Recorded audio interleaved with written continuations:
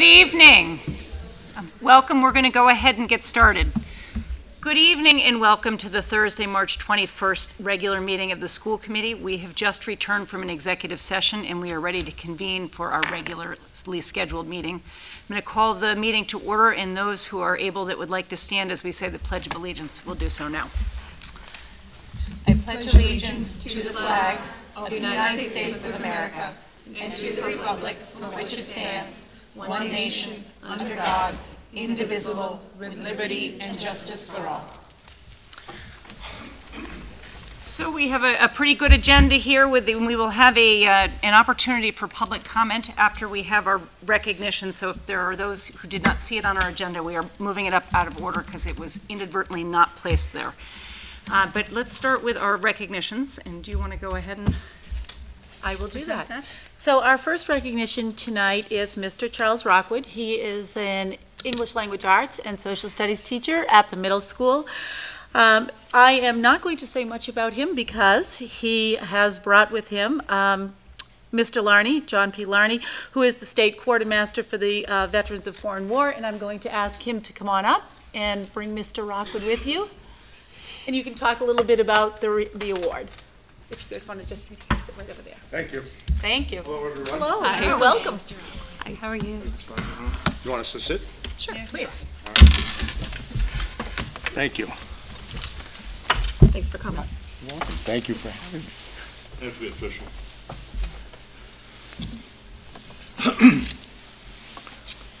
Going to do a very quick introduction on the VFW.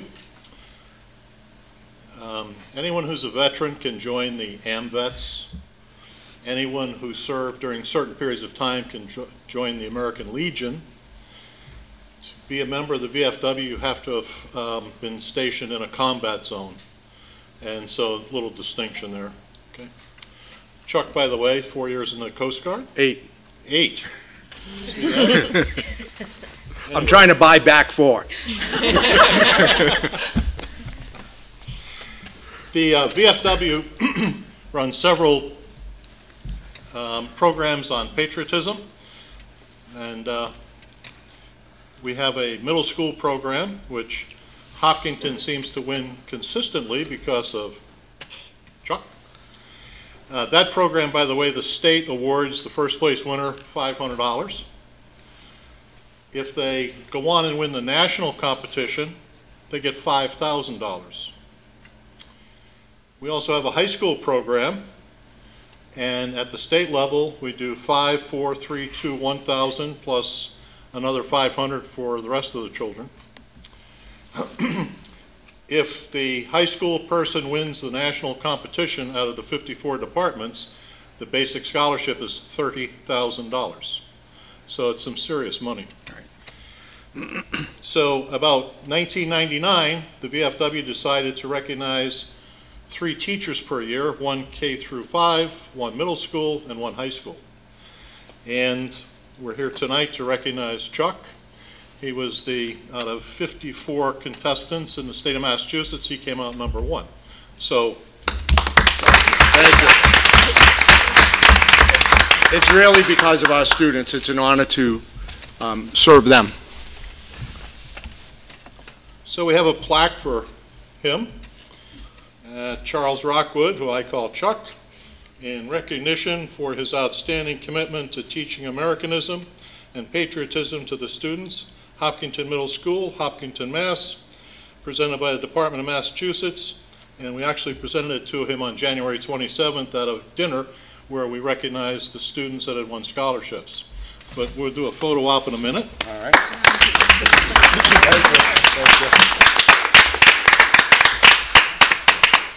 And that's more than enough to take your wife out to dinner. All right. Appreciate that. And I have another check here for the school for two hundred fifty dollars for one of his special projects. Thank you very much. Thank you. All right. Thank you very much. Appreciate it. Thank Thank you, you. right. and thank you for coming out, don't go. Oh. Okay. This is my mother, Marion Rockwood. Oh, fabulous.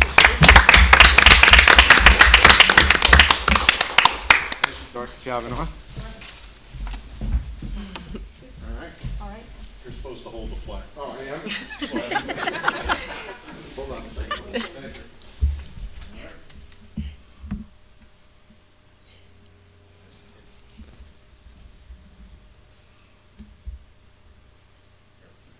Thank you very. Oh, this is fabulous. Tomorrow's Fun Fact Friday, everybody. Tune in. It's a great one, too. Thank you, John. Thank you. I've already Okay. All right. So, so the Patriots pen, uh, just real quick. Please. At the middle, we do the Voice of Democracy here at the high school, and, and over at the middle school, it's called the Patriots Pen. It's an essay contest, and there's always a patriotic theme annually. Well, how it started here in Hopkinton is, we had a hall monitor, a retired educator, Dave Laquadera. Some of you may know Dave Laquadera from town.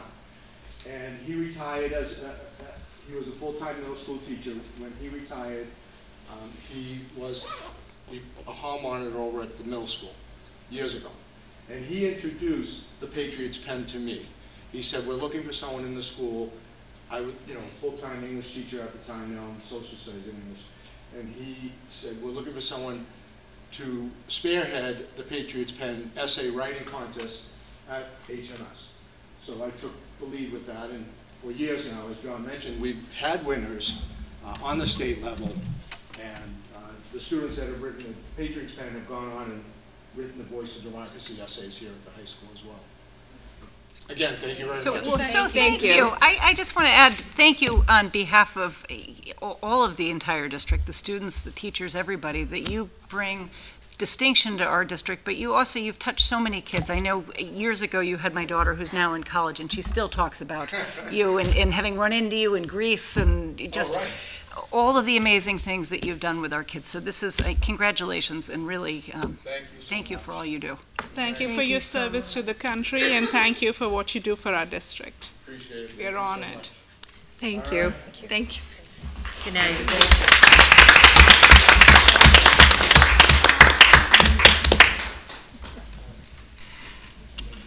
I'll just show you Mr. Rockwood doing his Fun Fact Friday. That's a great other photo side right there, there. Mr. Rockwood. I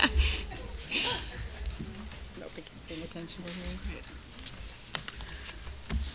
Okay, so our special, uh, second special recognition tonight is um, Mr. Ed Flannery from the Hopkins School, and I will ask Mrs. Bolello and her students to come on up and talk a little bit about Mr. Flannery. Of course, you need to take the, st- stand in the honor, please. Sure. Right. Oh, you want me in front? Oh, yeah. You can stand, absolutely. I don't want to block these guys. Yeah, block me, you come right block me. here so that the audience can Okay. Excellent. All right, my friends, you want to take it away? Good evening, Hopkinton School Committee. Thank you so much for allowing us to come here tonight and honor Mr. Flannery, our retiring head custodian. We are student representatives from the Hawk Squad, the Hopkins Community Service Club. We dedicate our Tuesday afternoons to planning service projects with Mrs. Bolello and Miss Babson that will benefit our community, school, town, and world. Recently, we honored Mr. Flannery by planning a surprise whole school meeting at Hopkins. It is pretty hard for a school of over 550 fourth and fifth grade students to keep a secret from the head custodian, but we pulled it off. We'd like to share a little poem we read at the whole school meeting in honor of Mr. Flannery. Oh, to our retiring custodian, Mo- mops and brooms and feather dusters are used by this cleaning buster.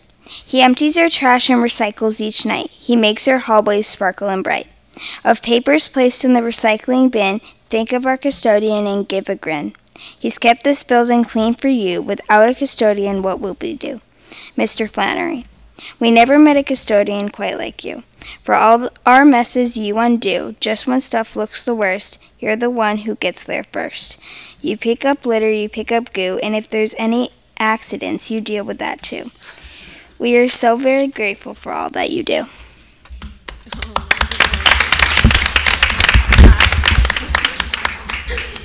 It was great to honor him as a school, but we are pleased to be able to be here to thank him publicly. Mr. Flannery has been a critical part of Hopkins School for its entire history 20 years. He's also helped out as a custodian in other buildings and even served as a high school football coach. He has been an important presence in our district for a long time now. Mr. Flannery has been the best janitor ever. He deserves the biggest thank you in the world. Every day he came to Hopkins School to pick up all the pick up the messes we made to, and to fix things that we broke. It is not easy job to be a one-man cleaning show with over 600 people making messes each day. So thank you.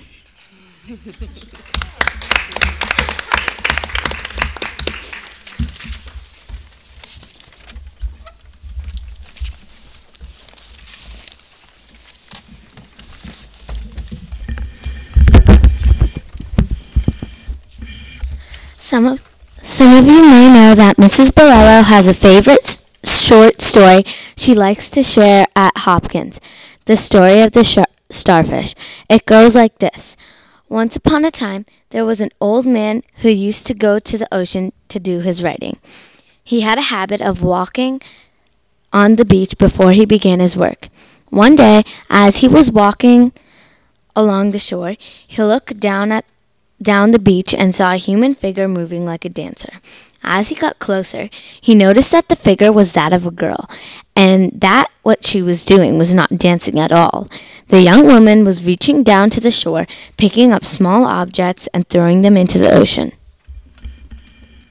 The old man came closer still and called out, Good morning. May I ask what it is that you are doing?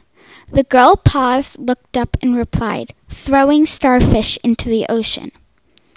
I must ask, then, why are you throwing starfish into the ocean? asked the somewhat startled old man. To this the girl replied, The sun is up and the tide is going out. If I don't throw throw 'em in, they'll die.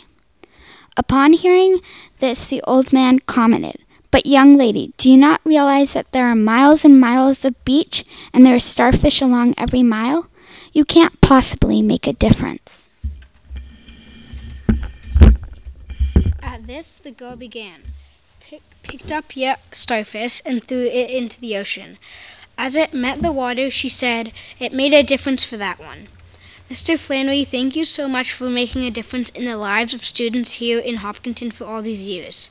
Hopkins will miss you very much, but we wish you well on your future journey. Enjoy your retirement.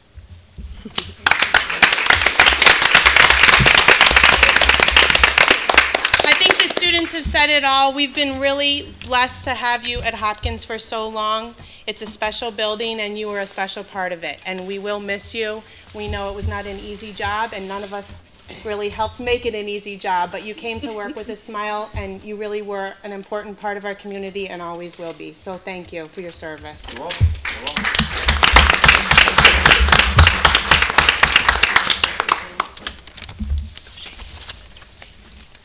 Mr. Flannery, you have your certificate of achievement. Oh, we, you know, it started out as a job, but it ended up as. And I enjoyed coming to work every day. Had a laugh. My theory was we had to laugh every day, find something to laugh about. How could you not with these wonderful children? And sometimes I was laughing at them. Laughing with them, you know? All So, ladies and gentlemen, from September 8th, 1988 to February 28th, 2019, Mr. Flannery was with us here in the Hopkinton Public Schools.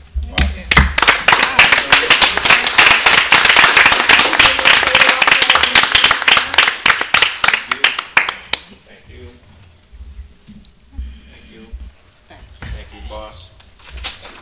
Thanks so Photo much. op? We did our photo op Yes. before, so we. Oh, okay, wonderful. Move along. Okay, Oh, well, very this good. is Thank wonderful. you. Thank you so Thank much you for so much coming for in your for all of your years of service. And thank you to all the students for coming in.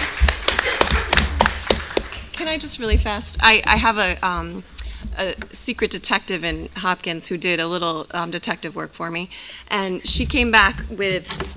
See, I just gave the gender away of this little detective. Sorry, that was unintentional. Um, a couple of she asked a couple of folks um, if she could, if um, if they could give me a quote or a statement or something about you that I could say tonight because I wasn't sure how this was going to go. I didn't know we were going to have the fantastic Hawk Squad here to go to, to speak about you. So I just want to share a couple of the ones that stuck out the most. Um, one of my favorites, he helped me get my shoe from the wall.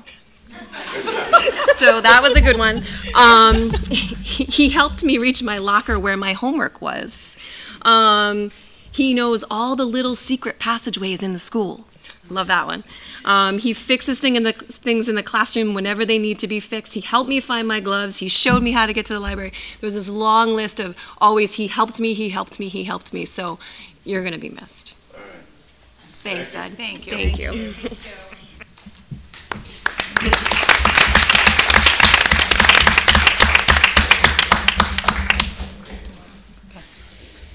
And our last recognition, but certainly not the least of the evening, um, I'm asking Kristen Murphy to come on up with her high school science fair students. And I will let Kristen just lead the way.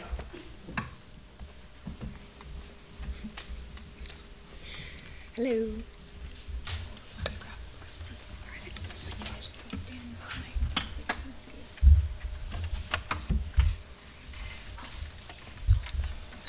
You guys can sit if you want to. We're gonna, we're gonna try and do a stadium seating here. I don't know what's gonna work. Just, sit. just do that. We can pull them up. That's fine. Okay. Okay. Well, thank you for having us. We really appreciate it. I'm Kristen Murphy. I'm a ninth grade chemistry teacher at the high school, and I'm the science fair director. And these are a few of our students um, that just competed at the regional fair at WPI and are headed to the state fair at MIT in May. So we're really thrilled to be here today, and we really appreciate the support and enthusiasm in town for the science fair. They're going to have a chance to tell you a little bit about their projects, but just to kind of give you the bigger picture this year, we held our school fair for the 31st year, which is one of the longest programs in the state, um, and we were really excited that this year we had more students than ever participate. We had almost uh, 97 students at the school fair, over 50 projects, um, and so many students who were new to the experience that were doing a project for the first time. So we're, I think we're doing a better job every year grabbing more students and a wider range of students who are getting to experience the real scientific method and study something they love. And I don't know if anyone was able to stop by the day of the fair, but it's my favorite day of the entire year, and it's the most inspiring day as a teacher to see these students choose these topics that mean so much to them or their families or their communities and spend so much time investigating them. Um, and I think it's such a testament to what's happening in this town. Everything from the amazing teaching happening K through 8 that's getting them ready to be these great scientists to the support from the parents who are encouraging them and telling them we believe in you and helping them figure out a topic. And then most of all, um, to our students who, with all the activities they're doing in high school and all the demands of classes, are finding time to pursue their passions. And as you'll hear, tackle something that really makes a difference. Every project, and that was the real big theme this year, seems to be something that will make a difference in the world. And what more could we look for to our future? It's such an inspiring day, and I couldn't be more proud of these students um, who are some of our top performers. But even the simplest project, I think that student gets so much out of the experience. So we really couldn't do it without the financial and scheduling support of the school committee and the administration and the HPTA, who's fundamental in our funding every year. So thank you so much for having us here. I'm going to have every student go through and just tell you their names and their project titles. And then we have three that were some of our top performers that will give you a little snippet and summary of the project. Thank you. So, Archita, why don't you guys start? Yeah, so uh, my name is Archita. I'm Tanisha. We did a group project, and our project is um, calling 911 when detecting an irregular heart rate. Um, my name is Freya Fardeen, and my project was called Spill the Thesis Can Green Tea Prevent and Cure Cancer? Um, yeah, I'm Rohan Minocha. Uh, my project was Systems and Methods for Automated Programmable Dispensing of Medication. Tell a little bit about your project. Uh, yeah, so uh, my project uh, is an automatic pill dispensing device, and its purpose is to prevent uh, unintentional injury and unintentional death due to misuse of prescription medications. Um, and it does that through a hardware and software solution. So there's a hardware or a pill dispenser which automatically dispenses medication, uh, and that works with two different software apps. And both the hardware and the software help to enforce a strict medication schedule so a person can only take their medication in the correct quantity, in the correct manner, and at the correct time. Rohan, could you um, tell the committee where you came up with the idea, what your impetus was? Um, yeah, so I originally came up with the idea um, from looking at my grandmother. So she's almost 80 years old. She has difficulty remembering whether she's taking her medication or she's taking it the safe prescribed way. So originally, I actually, to, for this project, I looked for a device first for her. I couldn't find one, so I set out to build my own device, which almost seeks to replace your normal orange pill bottles in which most medication comes in these days. And Rohan was one of the top 10 projects at the regional fair. So we're really excited to see how he does it at states. And there's a lot of interest always from the judges about patenting his project. And so he and his brother are in the works, I think, on that. So stay tuned. There's, there's lots more to come. Congratulations. Thank you. Elise, you guys want to go? Um, I'm Elisa. I'm Alana. Um, our project is removing gluten from fryer oil um, because four in a hundred people have some sort of gluten sensitivity. Um, so we wanted to figure out a way to make it safe for them to eat fried food in restaurants by filtering or straining out the gluten from the oil. So we actually made a prototype fryer basket that would allow for restaurants to fry gluten-free food in gluten-contaminated oil, and our procedure was a very simple and practical way for restaurants to do so. And they were fifth place at the regional fair, so out of 130 projects, so very exciting. They were one away from the international fair, so maybe next year. But um, as, as they said, a simple idea that was done really, really well, which is awesome to see in a science fair, and they did a great job. Did it actually work? Because I have celiac and I would buy that. yeah, it, it did work. We were successful. That's super impressive. So they've partnered with one of the big gluten-free testers um, eh, that the gluten-free watchdog. I also have celiac, so I hear you. Um, so they're going to be publishing their results through some of these websites. So the celiac community is very excited Very about happy. this. Yes. Hi everyone, my name is Simran Kaur and my project is The Mystery Behind Aerial Warfare. In this project, I made a model of an aircraft that's invisible to light by using different um, paints, coatings, materials, and fibers that could make the aircraft invisible to light. That's interesting. All of these are so interesting. Um, I'm curious to know about uh, the connection with green tea and cancer. What did you Um, find in your research? So I tested if the polyphenols in green tea, which are the catechins in green tea, like what green tea is made of, um, have an effect on a tumor. So I tested. Um, so I exposed a living model, and my living model was planaria, and I exposed it to a carcinogen. And the carcinogen I used was Roundup, which is something everyone has in their garage. It's a common herbicide. And I basically established that in high dosages, Roundup does indeed cause cancer, but the polyphenols in green tea can modulate the cancer and kill the cancerous tumors in the living model.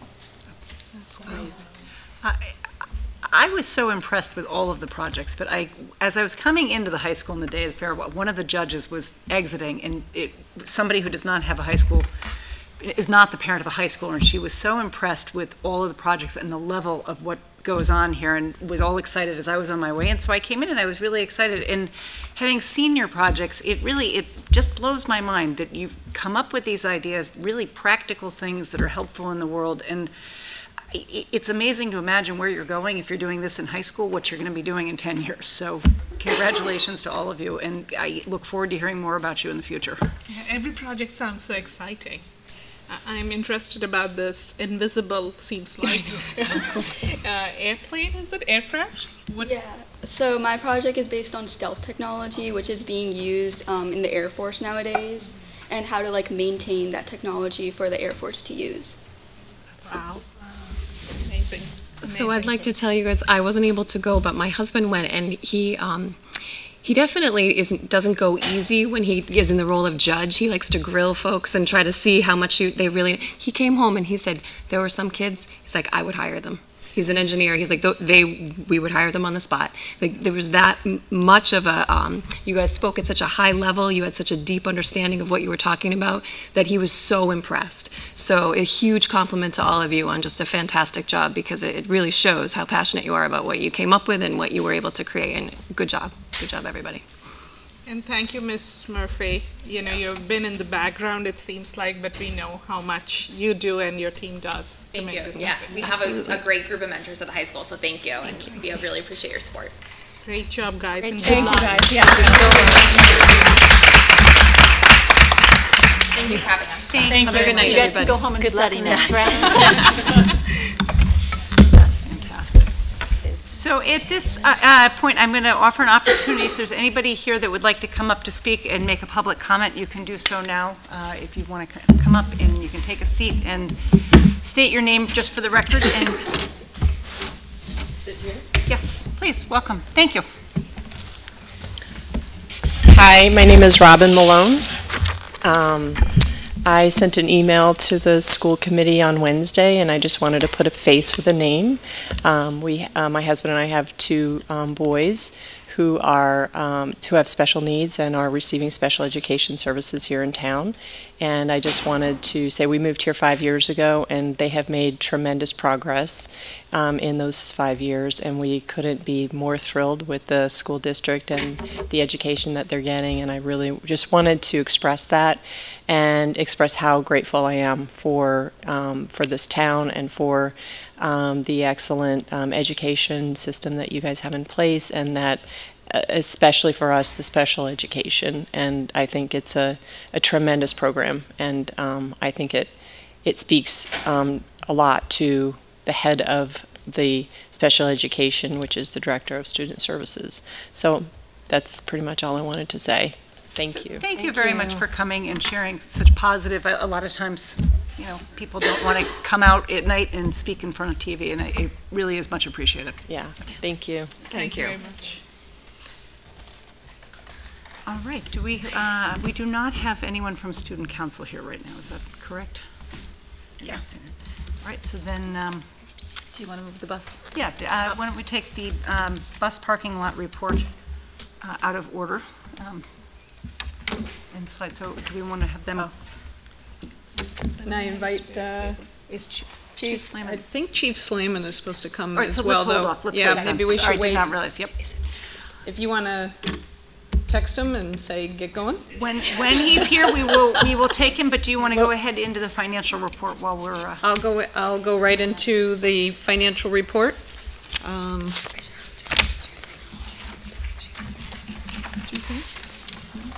So what you have before you is the financial report through um, March 12th.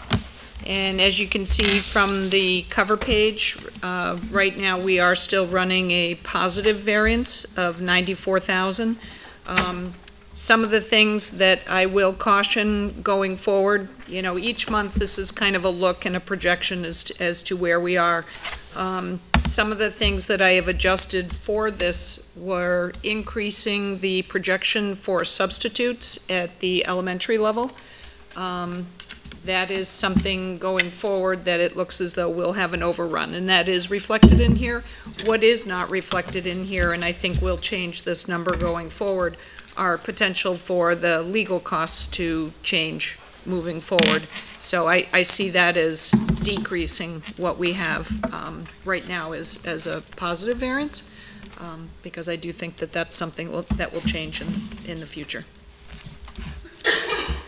Um, So are there any questions? You can see from the payroll, right now, we're running a positive variance of 69,000, and the expense accounts at 25,000, and the details of all the changes um, are on the previous, the next following pages. This is all great news. Thank you. it's great. Thank you. Even with all those positions added, yeah. Yeah, that's, that's Three more months, three more months. All right, thank you. A few more months. All right, so Dr. Cavanaugh, then, if you'd like to go. Okay, sure. So I'll give you my superintendent's report. Um, I start off with just some goings-on. On Saturday, March 9th, um, I think more than 30 people convened in this room to do the focus groups for our strategic planning. Uh, I want to say thank you to Hef, who provided breakfast for us on that day.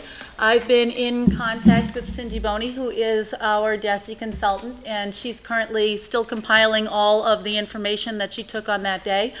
Uh, So I'm anticipating that you'll have that for me uh, by no later than Monday for sure, if not late tomorrow afternoon. Um, I have a a live link there on strategic planning, and we can just sort of take a look quickly to, show you that we're pretty much on, on target in terms of timeline. So if we scroll down to uh, March 21st, which is where we are today, um, I am slated to present an update to the school committee uh, on the strategic planning work, if there is any, and really I can just tell you about the event of March 9th. I was really pleased with how many people came out, and the focus groups I thought were, you know, a lot of people were very much invested in them and had a lot to say, and I think that we actually gathered, I think, a lot of data. So um, I'm interested to see what it is that Cindy puts together for us. I just want to say I thought um, it was an excellent, excellent day. I, I really was appreciative of um, the quality of the consultant that you were able to find. I th- thought you did a great job. I think your preparation was um, really instrumental in making that day run well. And people came; they had done their reading, their Mhm. assigned readings ahead of time. There was really rich discussion. So was a great um, hopefully, we got some good, some good output because it seemed like there was a lot being shared and brainstormed and so forth. It was fun. A lot of good energy. Yes. Um, The same weekend, the high school had their spring play, Radium Girls, and I don't know if anyone got out to see that, but um, it's a historical fiction piece, and it was really well done. Uh, It's one of those plays that kind of stays with you because of the tie to history, you know, that sort of thing that lingers in your mind for days afterward. So, um, you know, kudos to uh, Ms. Rosenvinger and, and her students. It was, a- it was a great production. Uh, What you see here are the kids who were just before you. Um, they- These are the students who were competing at WPI at the Regional Science Fair. I'm sure some of those kids will look very familiar to you. Pictures. Uh, We had STEAM night at the Elmwood School, so here are just some pictures that I took while I was uh, zipping around. Um, the way they work this is that you sort of have this passport, so you go to a science, a technology, and engineering, and art, and a mathematics session, uh, so you can see families just having a wonderful time. I don't know, Mrs. Carver, what you think about percentage, but about 95%, I think, of your second graders came out, do you think? think they said all but forty students were in attendance. Wow. It's amazing. Maybe ten of them were in the driveway. Uh, I will say that parking was a little challenging at the Elmwood School on that night. It was the only thing that I heard from anybody that was a negative, was that the parking was extremely challenging. We typically park on the field, and we didn't have, excuse me, didn't have access to it because of the snow. Oh. I mean, I think another amazing thing about STEAM Night at Elmwood is it's not sort of limited to Elmwood. I mean, you'll see teachers from the high school, you'll see tons of high school kids running around and parents, and it's really just an amazing night. How many people have to come together to put, I mean, I don't know how many different stations you had, but, you know, my guess is there could have been like 30 of them. I would say that's probably about right. Yeah. Uh, We had two community reading days, and interestingly enough, uh, both at Hopkins and Elmwood, we had the same book chosen, The Day You Begin. And I was actually thrilled to see this because, first of all, I love Jacqueline Woodson, but uh, I was also very happy to see that um, the text was chosen um, in support of our diversity and inclusivity uh, work that we've been doing all year. It's a great book. It was a great That's a really fun it? event. Uh, A couple of other things. So Carla Crisafulli, who is the math subject matter leader here at the high school, has um, established a partnership with Mass Bay Community College. And so students here at the high school will be able to take tuition-free uh, dual enrollment um, computer science scripting courses. So that's brand spanking new. It's not going to cost any student uh, any money at all, but they will be able to earn college credits while um, enrolled in high school. So that's exciting. And the second thing, um, in terms of curriculum, is that we have our Seal of Biliteracy almost up and running, and I want to thank Jill Kimball, uh, Marilyn Miracle, Umina for your work in that, Jen for your work in that. Uh, But it is an amazing achievement to have our kids recognized because they are able to speak two languages fluently and to get that seal on their diploma when they leave high school. So kudos to everyone who's been involved in that.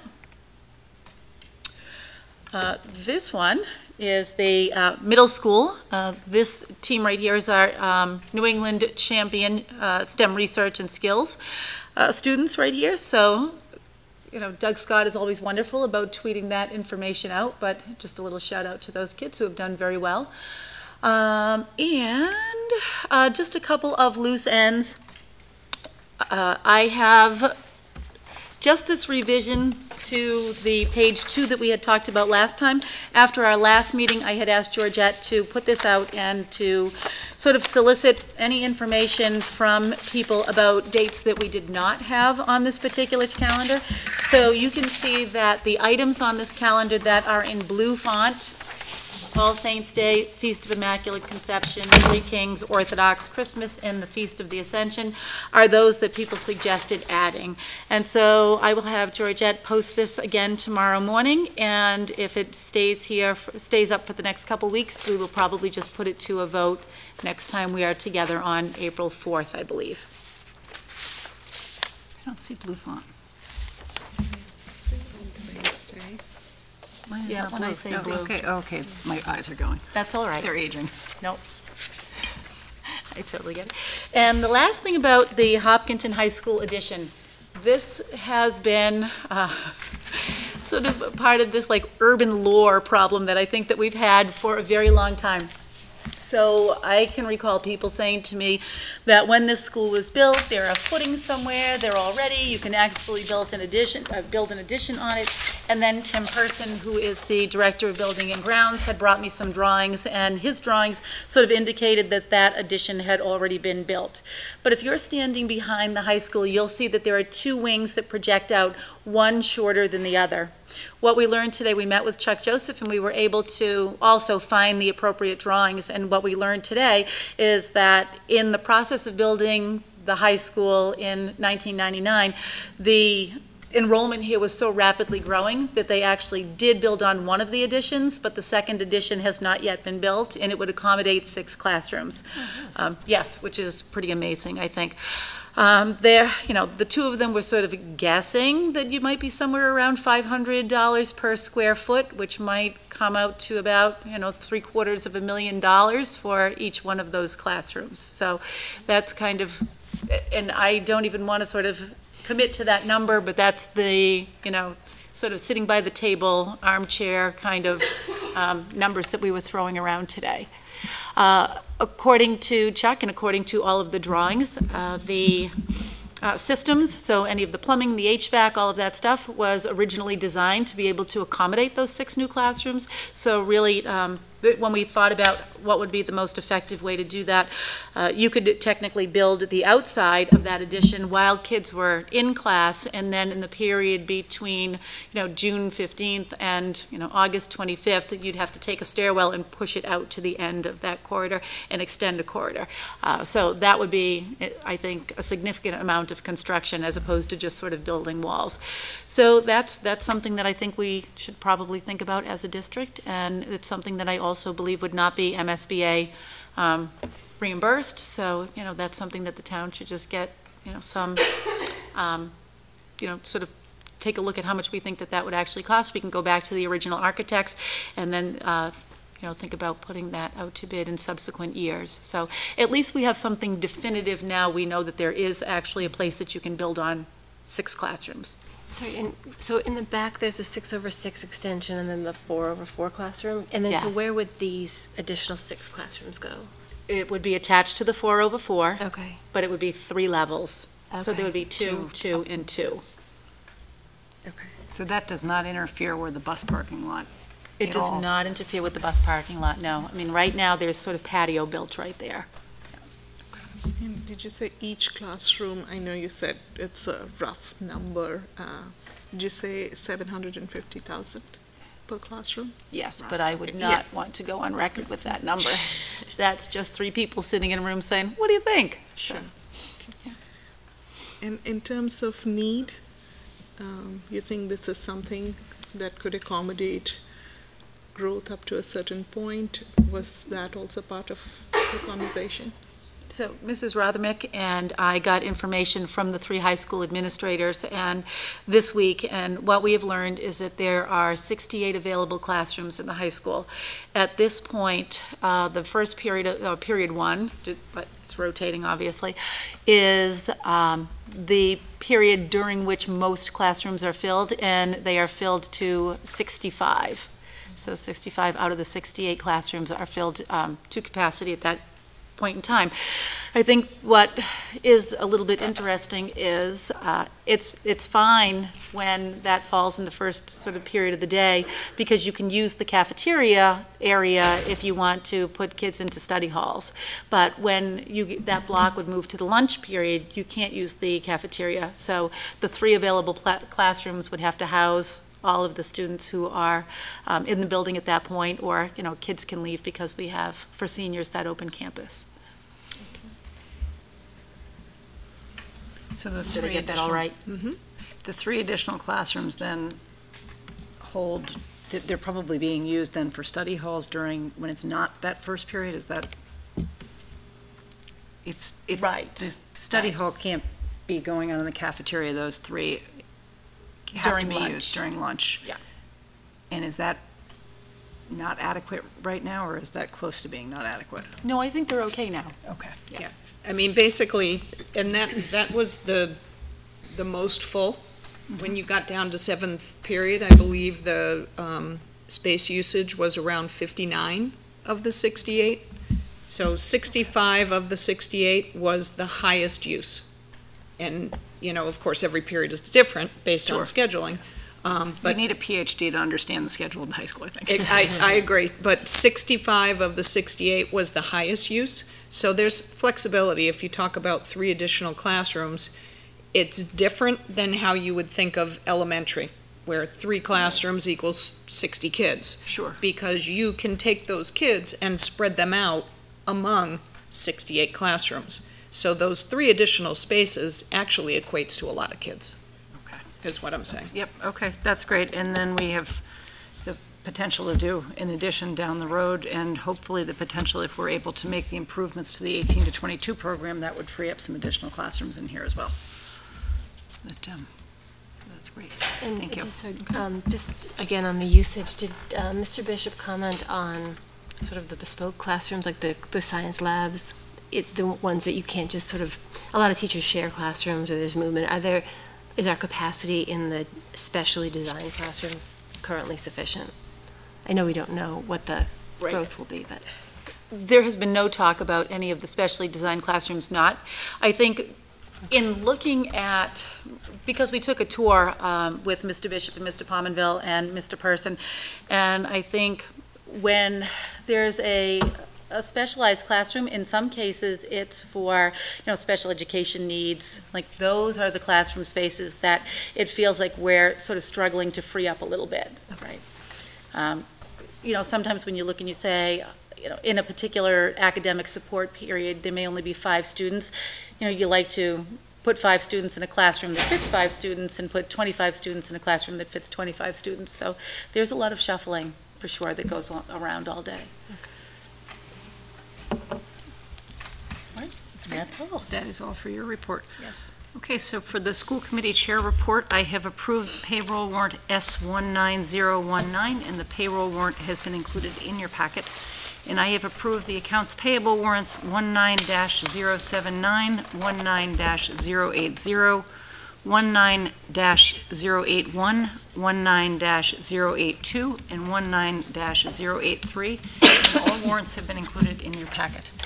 And then, uh, in as an update on the school committee office hours that Mina and I did over at Legacy Farms, it was tremendous. Uh, We had almost 15 people there.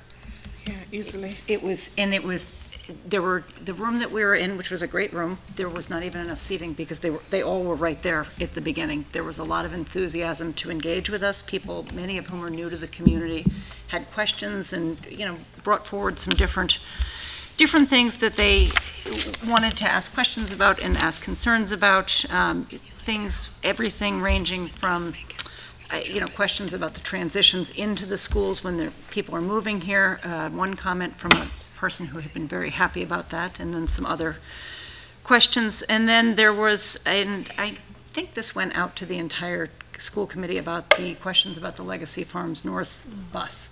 So that was a topic of conversation as well. And I um, I had a conversation with Susan about the, what has been kind of happening in the background of the, the school is not able to run the bus up there because it's a private road, and that's sort of their frustration, is trying to figure out uh, how to get those kids not waiting in the, at the bottom of that road where traffic can be heavy with the buses, and they have, another issue is that they have trucks and things going through, they're doing construction still in the development, and they're trying to figure out how they can address the situation, um, and to date, a solution has not emerged, but we are hopeful that something will work out to make that better.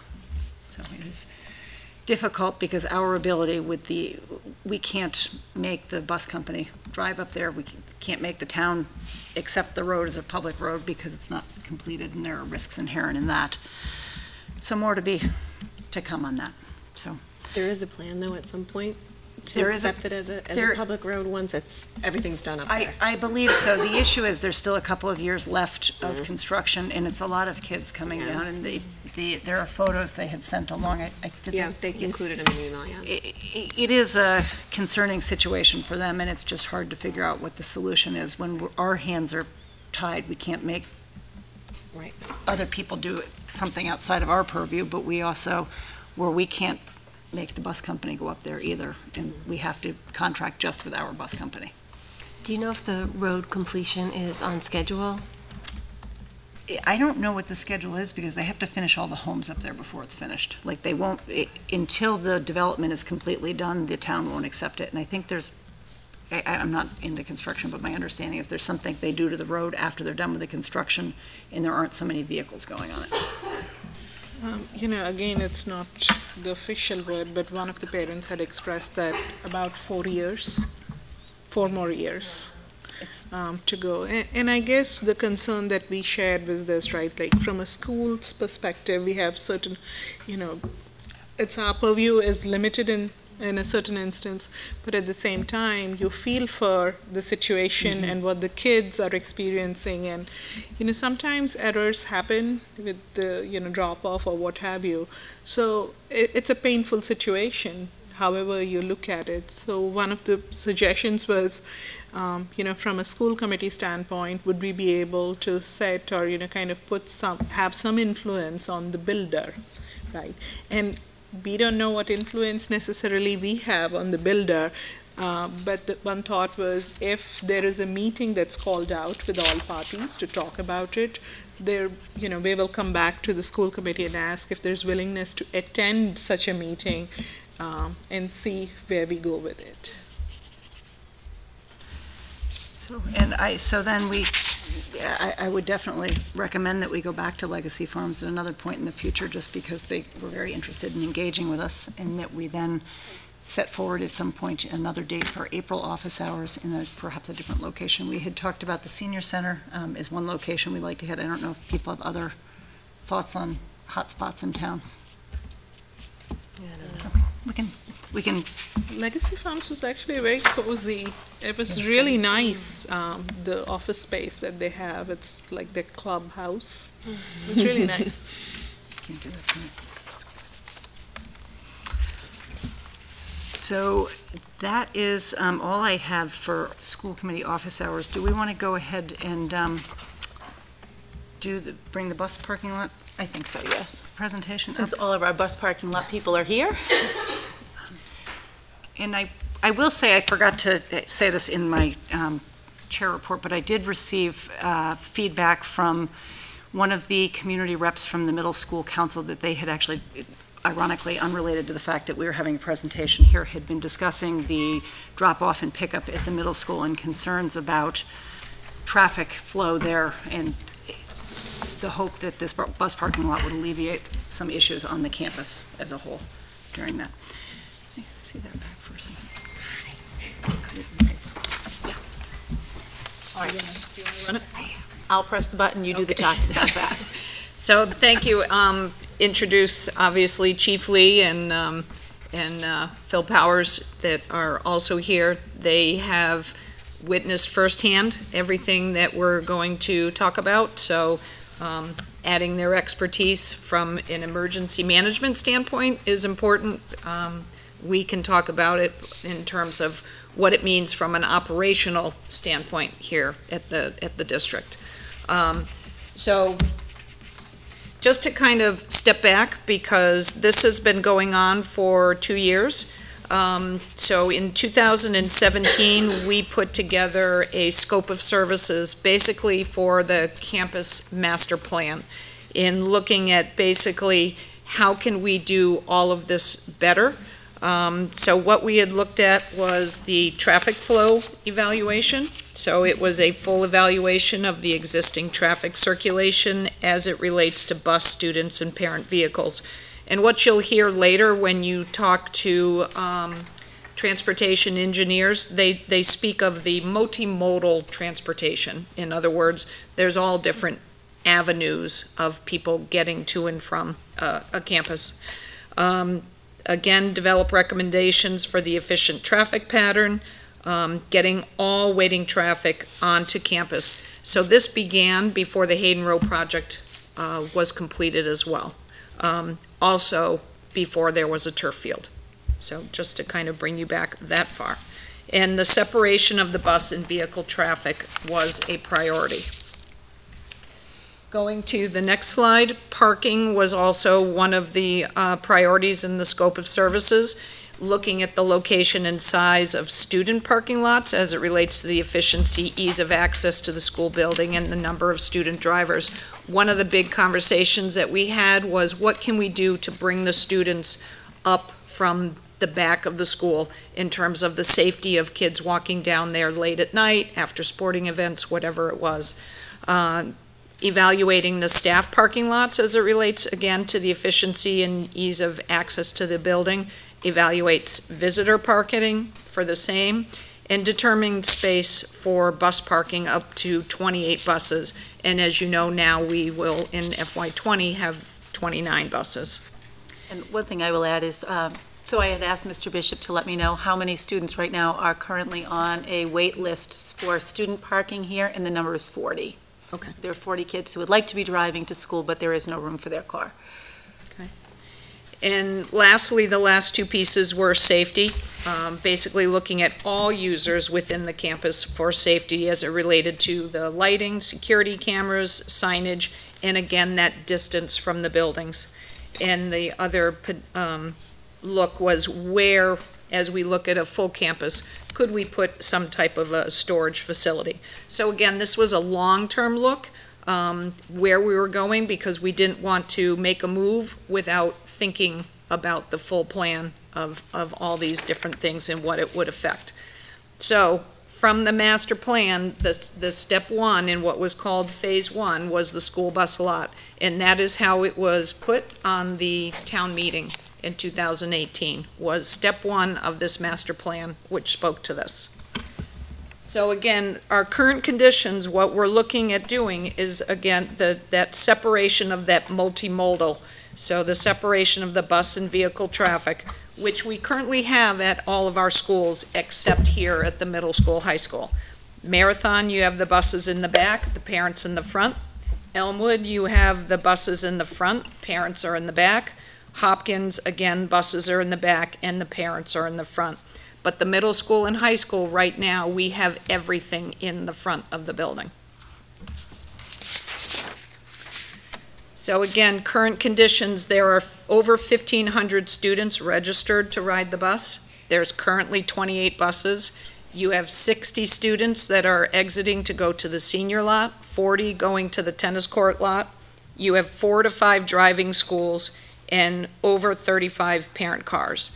So just to give you an idea of what it looks like out there, that's over 1,700 students and 160 vehicles, all in the same area.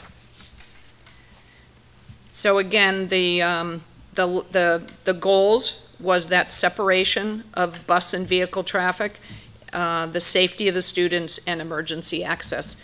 Again, looking at that multimodal, you have walkers, you have parent cars, you have bus cars, you have student cars, you have bike riders. Um, so lots of different things, lots of activity going on in the same place. Now, these next two slides just really is shows some um, excerpts from traffic engineer studies, if you will. Um, basically, the first one, school bus loading areas should be separated from parent drop-off and pickup areas if at all possible. separate the school bus loading and parking areas from automobile parking areas. This separates both the buses and bus riders from automobile traffic.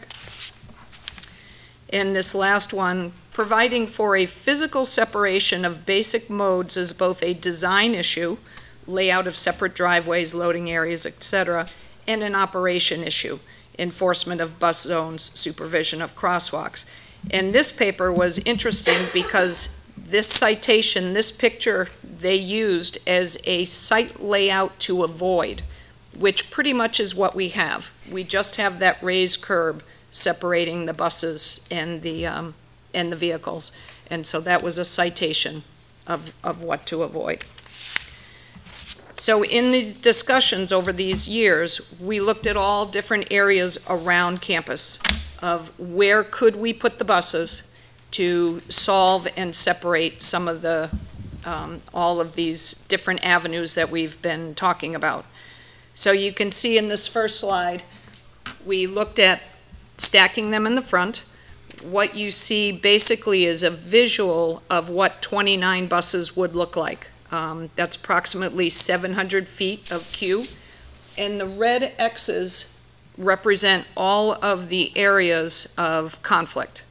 Um, So there are several parking lots that are blocked, and the emergency access between the middle school and high school um, would be blocked as well. So this was one avenue that we looked at. Um, Going And to. Before we go to the next slide, Yep. there's one thing that I, I, I do want to say about this, not necessarily that configuration, but the configuration that we have now. If you look at where that crosswalk comes down toward Hayden Rowe, um, and it that wouldn't matter if the buses were queued there or if they're currently in our bus loop, we have kids who step off of that curb and we have cars coming into the middle school, buses exiting, and, and so that crosswalk for me is one of those places of, of concern. And then as I look at that student parking lot or even the faculty parking lot, we have kids who are getting out of those cars and walking toward the building or exiting the building and walking toward their cars while parents are picking up. So kids are constantly walking in the flow of traffic, and those are the two places for me in this configuration, or the current configuration, that make me very nervous when I'm out there. So the next. If we can go back, I think that's what the fire chief would speak as, that no fire apparatus could get to the front of the school. You, with this configuration, you mean, yes. Right. Yeah, I just wanted That's a to problem. note that I did speak with uh, Chief Slam, and he got tied up on something. But uh, that was the, one of the big key issues, is Correct. emergency access. Right, and I know, um, so everybody, like I said, over these years, we've had multiple conversations, and one of the things that Chief Slaman did say um, is also not only the fact that the vehicles are there, but it's that visual um, clearance as well. And it's a lot easier for an apparatus to see over a car, but not so much to see over a bus. So having them there not only blocks it physically, but also visually. You have the tennis court lot where kids wouldn't be able to get out to uh, go home till after 2 o'clock. Correct. So all of those lots are blocked in this configuration. So this next one is looking at the back of the campus and using basically that emergency access all along. So in order to do this, again, you would need to add probably a minimum of 10 feet to create a safe distance between the, the building, the buses, and for students to be able to walk. Um, And there are elevation changes, so that, you know, this is not a free, this isn't something we could just do. Um, It also blocks Hopkins Road, as you can see, and again, it takes away the entire back emergency access um, for our emergency personnel. When these buses were to exit, they would also exit through the middle school parent dismissal, and again, is another conflict area. You also have 90 students parked in the water tower lot where they'd have to be walking by those buses to get to that lot.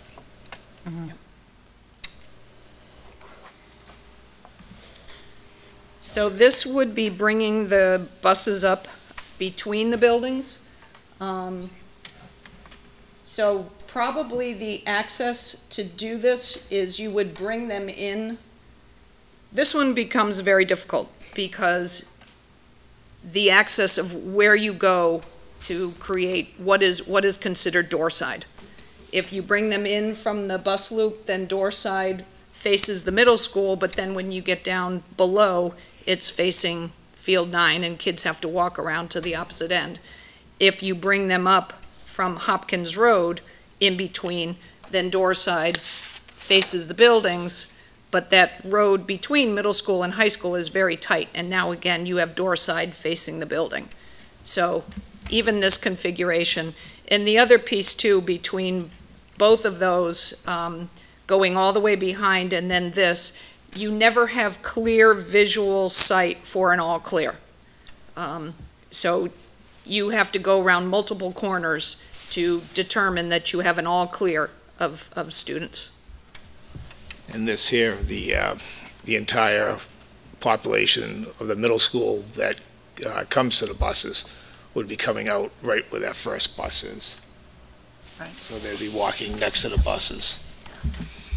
Yeah, it- which is alarming, I think, with that notion of the all clear, right? Yeah. Yep. Because inevitably, you'll have some student who's late who decides to, you know, race down to that very last bus, and when those buses start moving, And then this last configuration was really just, again, looking at, you know, a potential of a double stack and what could that do? Um, Again, this interferes with middle school um, parent drop-off. You would lose parking in that parking lot. You do not have that full visual, all clear. Um, Your sight lines are, are very much affected. Um, So these are just all the places that we looked. So we played around as much as possible. You know, even Phil rode on buses with us, and we tried to see where a bus would fit. So there has been a lot of discussion about that. Um, So then lastly, what we came up with was really using Field 9. It pushes it out of the emergency access road. It gives the buses the ability to come in and out from the Hopkins Drive. There is a walkway that um, still allows the students to get down to the lower lots. Um, The current way that the kids walk through the middle of the, of the lot, um, you know, there's an elevation change, so as we build this lot, the more natural uh, student progress would be down either one of the driveways, as opposed to cutting through the middle, which you see them do now. And then you have a very clear visual. Um, They're always in front of the buses. One of the things that you always talk about, even when you're establishing a bus stop, is you try to make it so that students are approaching buses from the front. So with this configuration, when students are coming down, again, they'll always be facing and, and, um, the, the, they're coming at it from, from the front as opposed to the back. Keeps the emergency access road free. Um, Right now, the, the lot is planned to have driver spaces as well. If we continue and need to increase, um, the number of buses that would fit down in there, then we would reduce the number of driver spots and they would have to caravan, which they do now for different events. If they're having a safety meeting, they all meet in one area and they caravan to the, the safety meeting. So that's not an unusual thing for them to do. Um, so we feel that there's room for growth in this area, um, you know, even if we increase the buses. So I'll let uh, these two fine gentlemen speak a little bit more if they have more to add.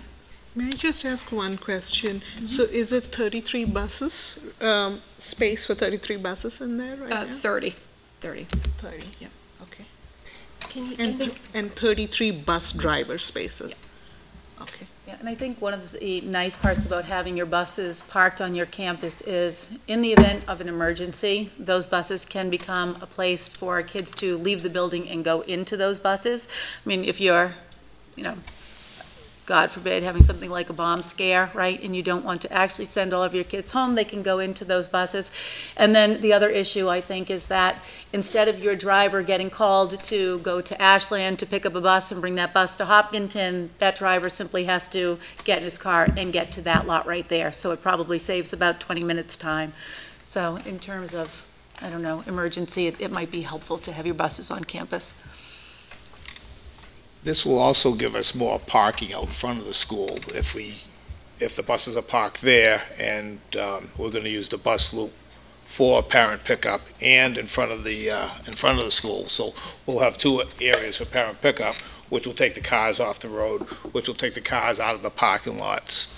Um, So right now, in the F lot where the, the uh, senior lot is, that's the overflow for teachers. So the, the uh, row of cars that run parallel with the driveway, uh, that's for uh, staff and um, teachers. They can move over to the bus loop where, uh, by the island, where we could put at least, um, I think, 20 spaces. And that will leave the senior lot for, uh, completely just for students. Yeah, in a future slide, we'll show kind of the potential of, of what we could do. So can you just talk a little bit about the student drivers who park in H, J, and K lots? How many kids and how would they get to the lots? I believe Especially that- J and K. Sure. Uh, J and K, they usually, well, they, they go down the loop road and, uh, there's up, up, actually a path Right, by Hopkins, right? by Hopkins before you get to the Hopkins and it comes right out in J lot. That's great when there's, when the snow is not there and it's a nice clean path. Uh, if not, then they have to walk in front of the Hopkins school to get to, uh, K lot. Yeah. We also have twelve spots for students in the, uh, Hopkins lot too, which is the, the furthest lot down. But they tend to go like out the back to the left. They go out the back to the right, To the left. Now uh, to go down to J and K, Yeah, that's they go to the correct. Okay. Um, and people go into H lot, there would be a walkway. Right now, there's a path that they can, uh, get out to the loop road. So there are like 80 kids in J and K? There's, I say? think there's about eighty spots between J and K, 74. seventy-four, Hopkins. and then there's like thirty-two or so in H lot.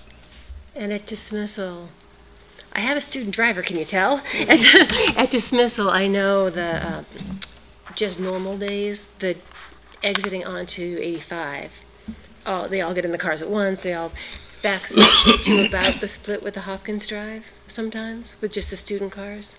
Say it again, I'm sorry. When the students are exiting at the end of the day, they go, Yeah. they all come up at once. The queue to get out, out onto 85 goes back sometimes to close It to the does, split, yeah. right? It's, it's congested. So the advantage when the buses are in this lot is now our crossing guard would be at Hopkins Drive. And his job is to stop traffic and get the traffic out of the campus so that the buses would move. So now all of our young student drivers would actually have that crossing guard that would be stopping traffic and getting them out, which right now they're just darting because our crossing guard is really responsible for the high school drive to get the buses out. But now if the buses are using Hopkins Road to access this parking lot, the crossing guard would be there as well. And he would be continuing to clear that driveway because when those buses roll, we need those buses to go. We can't have that driveway filled with student drivers. So it actually increases the safety of the student drivers. And we'll It- have to hold the traffic at all the exit points onto the loop road to allow the buses to get out, right? Once the buses roll, there, there's, we have dispatch there. Okay. Yeah, once you get that first bus out, Yeah. it'll all fall. They all go, yeah. And uh, we have that problem now anyways, uh, because you can't, when you come out of the school, you can't take that left turn anymore. Right. There you can't, everybody still does. Um, But, so that's even congested even more right now. Yeah. I was, I'm hoping if this does go through, that you will be able to take a left turn out of the school someday again, so. And that might, you know, stop. You won't be dealing with any of the buses in front like Sure. you currently uh, do now. And you'll be, you mentioned in, uh, when we met in your office that there's more room for parents to queue up now if the buses are in the back and we don't have uh, anybody queuing up on the, on the road, which can be dangerous. So we'll, we'll move along.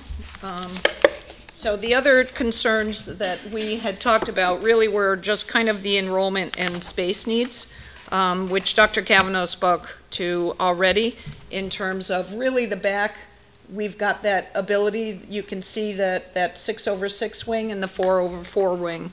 So the um, preliminary plans for future would be to add on to that smaller four over four wing. And you also still do have room in the front if that was something that um, an, an engineer decided was also another potential to add on. So our other benefits with doing this is that improved traffic flow, which is what we spoke about as part of the master plan, increasing parking, and of course, lastly, a, a financial impact. So two things that we looked at, two different configurations um, of what could this mean if we move the buses to the back. This first configuration gives you about 1,200 feet of available queue within the campus, like Chief Lee spoke about gives you um, an additional 92 potential parking spaces that could be built out. So again, this is future building out. If we just move the buses, you could create those 32 spaces in, in the front, in the bus lot, um, without too much construction. Um, the advantages of this is, is also to be looking at potentially building a driveway that actually comes out where the light is. Um, There's discussions that would have to happen with that, but you can see there's potential to add on to different uh, parking areas to increase the parking. Again, looking at our long-term plan in terms of students and staff. Another configuration Excuse me, these are, be- these are all outside of the proposed project right now? That is correct. This, again. It's a phased. When you want to look at your master plan, Yeah. you want to know what's next and what's next and what's next. So if, then what? Um, So these are other potential, if you were to loop the parent traffic actually through the, um, the bus loop, it gets the parent cars actually closer to the building, both on the middle school and high school side. It does cut down on the number of parking spaces that you could do, and it does cut down a little bit on that parent queue. But these, again, are, are future discussions of what, what could be if we were to move that.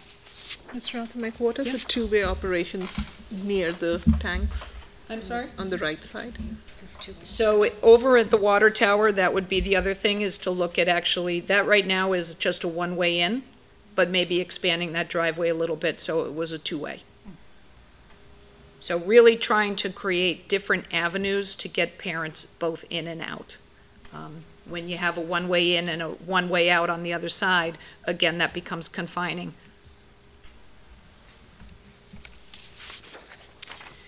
And lastly, what we have talked about in, uh, in our budget discussions is the financial impact. Um, The contractor has agreed to give us a credit towards the busing contract of $50,000 a year, and the excise revenue has been estimated um, a receipt of 50,000. So that has an annual financial impact of $100,000 if we were to get this completed. So. Can, can you speak to um, what parent pickup would look like with just the expenditure of this project? Like, if we put the bus parking lot in, what could we do without spending any additional money that would change parent pickup? Do we have a picture of the school now, out front? I think By so. chance? I think at the beginning. Like the, yeah, the beginning, the one where the. Yeah, that's good right There there. So, right now, the parent pickup is, One of those laser pointers. so there'd be two parent pickups. I actually asked for one, we didn't have one. I apologize, I did try to get my hand on a laser pointer, we didn't have one. And I'm the shortest one. We'll get you a ladder. So you have the current parent pickup right here that goes up and around. Yeah. Uh, So we'd have a second one that would come in here, and the bus will be coming, pick up on the side here next to the sidewalk. This is the area I was talking about for additional parking for staff. So you'd have two areas, and that would take, right now, we have cars queued up into the parking lots, the staff parking lots. So they're sitting there waiting for their child to come out. So you have kids trying to leave in their cars, they can't back out because cars are parked there. Kids are leaving, parents are leaving, and you have, you know, a lot of students, and I think in senior life, you have almost ninety, uh, parking spaces for students. They're walking out there. Plus they're walking, I mean, they drive their cars from here to here, because it's a lot closer to that door, but, uh, the athletes. That's a true story, they So do you'd that. have two places for, uh, parent pickup, which would open up all those parking lots. And it would, uh, the, the danger would be minimized. Mr. Rothermich, I must say this is great job. It's very visual, you know, all the questions and concerns I had uh, felt uh, when we met last time.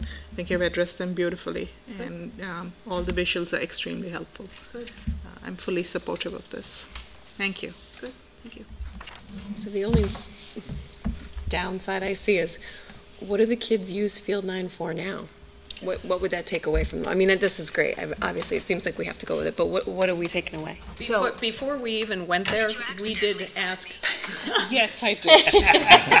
Sorry about I that. needed We did ask what impact this would have um, of Ms. King, and she said it really does not affect from an athletic um, program standpoint. And PE and other stuff that, no, nothing, okay. I think yeah. it's used currently There's- for intramurals, like um, club ultimate frisbee, like recreational activities, which could probably go to some other field.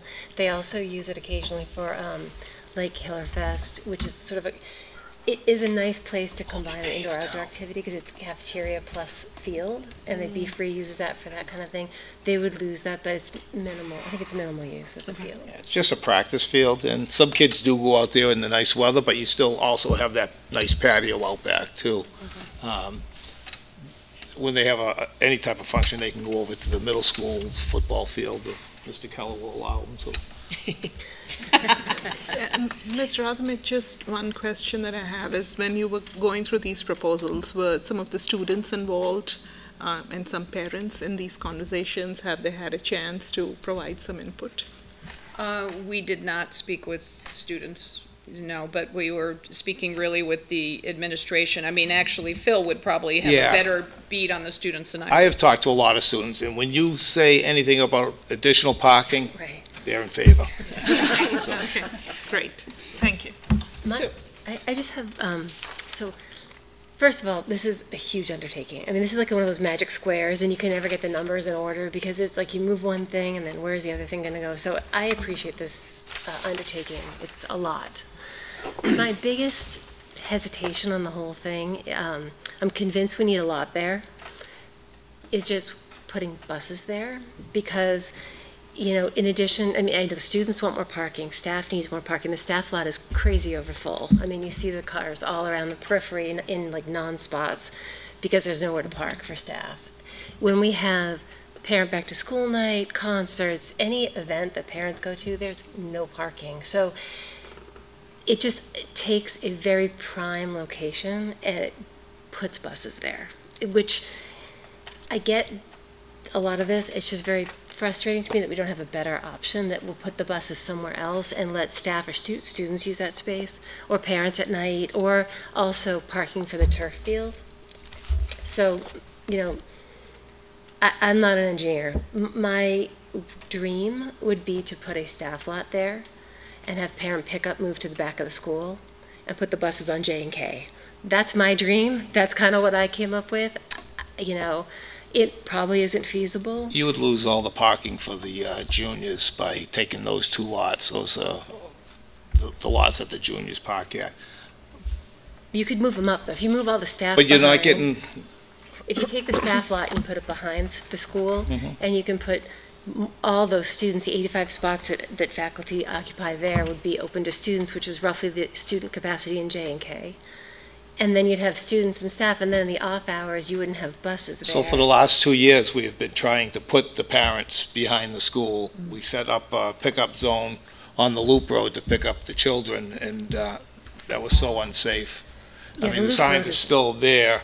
Um, That would be making it a dangerous situation to have the parent pick up unless you did construction for it, Well, I making think the the road parent- wider. It'd have to go in the staff lot. The parent pickup couldn't be on the loop road. I agree, it doesn't work. It would have to queue around the staff lot, which, Uh, you know, yeah. eyeballing it, it's like 800 to 1,000 feet. I, I don't know. I mean, it's just, I have tried every possible way to think of how to keep buses from being there. Appreciating the $100,000 financial, you know, incentive, just because this great solution is still going to leave me with nowhere to park on parent back to school night or my kids playing on the athletic field. It's frustrating, and I have talked to a bunch of parents of high school students because I have, you know, I'm in that group. And Well, maybe we could parents ask the parking. buses to park off-site or at a different school for those nights. You know, to another school, they could maybe park at Marathon, That's a good. you know, just, and you could open up that lot for that. I understand because, you know, they build an elementary school and they have enough parking for the staff, but they don't think about open house and curriculum night and so. Oh, yeah, it's, it's a nightmare at every school. It is. It is. Well, you, you heard, uh, Ms. Carver just I speak know. about that, you Oh. know, and, and that is, that is a difficulty in every school. Well, Well, that's because our field had snow on it. sp- so, but phase two, or, right, that's phase, the two is the next phase, would allow for more parking spaces to be put onto the campus that would hopefully address some of that. Yeah, I I- mean, there is a potential as we continue to march down this, this path. Like I said, you know, those two different looks, you could be adding, you know, 92 spaces or 55 spaces. So, you know, there is, there is potential to keep going and expanding your available parking. But those involve tearing down the White House, likely. Before it falls down. well, I mean, I, I just worry. I mean, phase two. I think the phasing is great. We have so many expenses coming down the pike. I'm just nervous about how much capacity we have to invest in traffic versus educational capacity, and you know, it's. Well, we'd have an extra hundred thousand dollars to do it if we had the buses, buses in town, though. Mm, I mean, that would be the, yeah. But there's no real rush to do phase two and phase three. Right now, it's, there's a rush to do this Yeah. for the safety of the front of the school. Yeah. So, I mean, you, you could postpone that if, if, you know, you wanted to spend the money more for education, but And this ties back to the vote to appropriate, I can't remember the number. 300,000. Three hundred, two hundred thousand dollars to finish off this project, right, which is good for a certain, a finite period of time, yes? Well, and- I mean, so like I said, the, what was appropriated at the May 18 town meeting was Phase One of the campus master plan, which is the school bus lot Mhm. on Field Nine. Um, So the 300,000 would be to actually complete that based on the estimates, based on the design that was required, all the stormwater management, all the landscaping, everything that needed to be done to continue the project. If the decision was to not move forward, then the decision should be to pull it off the warrant and give back the money to the town because it was voted for this. Right. And there's no time, I mean, this is still preliminary, there's no timeline as to when it would be done? I mean, is the Uh, goal to try to finish it in the summer again, or is? So we, we have a letter of intent with a contractor uh, that if it's voted at town meeting, to move forward and build it this summer. Okay. And finish before school starts? Yes. All right. so That's the plan. on our agenda, uh, we do not have a, a motion to move this forward or not, so I would like to propose that we put this off for a vote until the next meeting, in part because we're missing one member, and in part because I, I feel that if the community had anything they wanted to say before we push it forward with a final vote, I would like to have that opportunity um, for people to voice their opinion. Uh, I, I will say, kind of in, with regard to the safety, because that is the biggest piece here to me, I, I, I'm going to put you a little bit on the spot of how much of a safety concern do you think this is? Like, how concerned are you? I think the, you know, the, the major thing is separating buses from the cars. It's just a, um, you know, an accident waiting, waiting to happen. And, um, you know, and the superintendent brought up a good point too, in, in the area of emergency planning, and I know the fire chief would talk to that as well. But, uh, if you ever had to evacuate the school, you could shelter in place people, especially if there's foul weather or, or things going on. You could shelter in place, uh, the kids in the, um, in the buses, in the lot. Phil? Yeah, I I mean, the kids, you know, running through the buses, the kids running through the parking lots with all the parents parked in the rows. I, I, you know, I think it's a a real dangerous situation there, you know.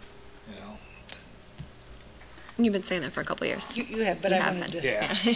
I, I Right, just right, I wanted know, to I'm bring, glad. I bring mean, all, that out for all the buses discussion. in the back, you know, they're shut off, they're they're in their assigned spots, you know, once all the kids are on the bus, then, you know, we have walkie-talkies, you you know, we give the green light to, for the buses to leave.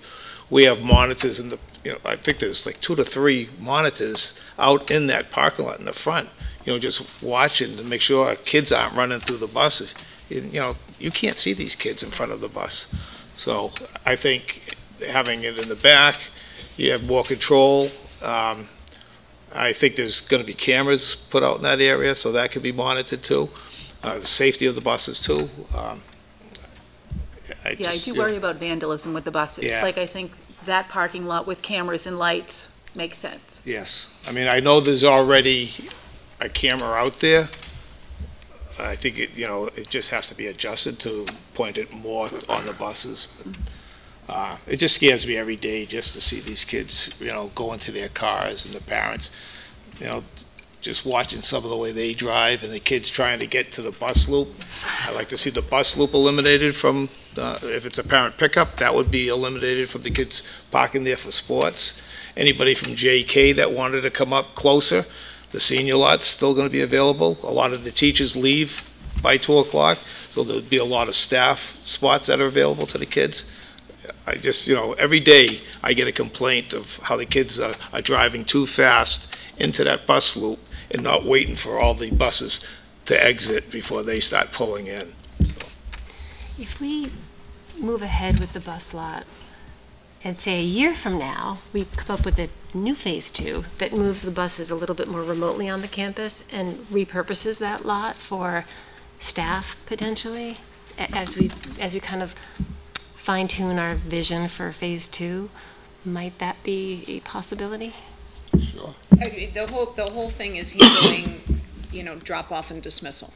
Yeah. You know, so if we push the buses further in the back, we'd have to still come up with that solution of where are they doing dismissal? Unless the kids are gonna walk all the way down the loop road to get to the buses down there. Right, and we, and if we move the parents from the front, we can't use the bus loop as the bus loop still?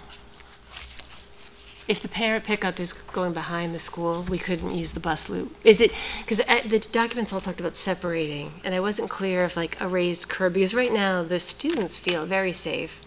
They're students, they always think they're invincible, but they feel very safe because when they come out of the middle school and the high school, they don't go anywhere. If they're going to the bus, they could just get on the bus, like, cars can't But get it'll be in the there. same, just in the back. Yeah. Plus, um, you're also, s- so right now you have probably ninety percent of the kids entering the school in the morning through that door. Uh, The, the two front doors. This is gonna be separating all the, the, how, how many ride the bus? Fifteen hundred. fifteen hundred would be coming through the back door, and all the drop-offs would be going through the front door, so it's separating it. Uh, they're entering the building in, in two different areas. Yeah. I think it would be easier to get to the classrooms too, and, and the uh, foyer area wouldn't be as packed as it is now. Right. I think one of the problems with using the bus loop area, which we encounter now for parking, is that when somebody shows up at 12:30 and puts their car there, and then a bus gets there at 1:15, there's, who owns that car in the parking lot? And I'll tell you It's you. pretty embarrassing when you uh, ticket the superintendent. Pretty embarrassing when it's Maybe the more than superintendent's car, I'm just saying. And I'm still there. We can't let I that did happen. too. Science project. No, it does happen. I speak from experience. I am. And it wasn't Carol, it wasn't Carol. But it'd been a previous one. I, I am very compelled by the safety piece alone, uh, al- also by the fact that um, there would be some money coming back into the schools where we definitely need that uh, for some of the other educational things we have. Uh, I don't know if other people want to speak to it, um, and and in addition, to speak to the thought of moving it, the vote, because we did not put on our agenda that we were voting this. It's a good idea. Yeah, I think it's a great idea. I do want to thank Ms. Rothermich for having heard us and done all this research and worked with people who put safety first. And did I hear that really number one in the country? That's correct. Thank you so much for, uh, you know, continuing to do what you do for our town. Thought someone was messing with me. I'd like to say I was not surprised. This also will increase, you know, income for more students to park on the campus too, so, because you're opening up at least 20 or 30 spots in front of the school, so. Times a couple hundred bucks, there we go. $155 a student. That's great, well. Yeah. And it's not time sensitive, right? We're okay if we wait till whatever our April next 4th. meeting is. So d- just to remind you, at this point in time, the school committee has already voted for this to be on the town meeting warrant. Right. So your vote on the 31st of January was to just, We voted to move it along in the capital with our To- capital items. So do we in fact need another vote on this? i- to be honest, unless you're reversing your vote. We don't need a. I don't believe you do.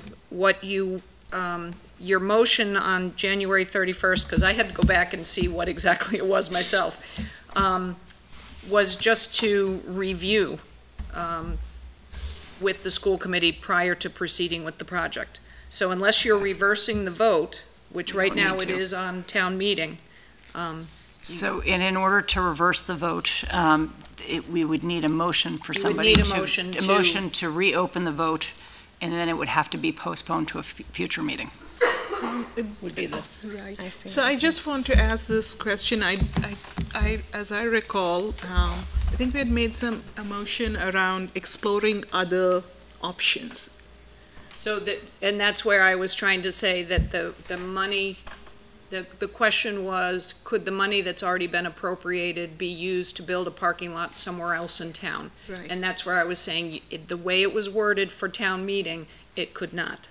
Because it was phase one of the master plan, which is why I was re-showing you what that master plan was.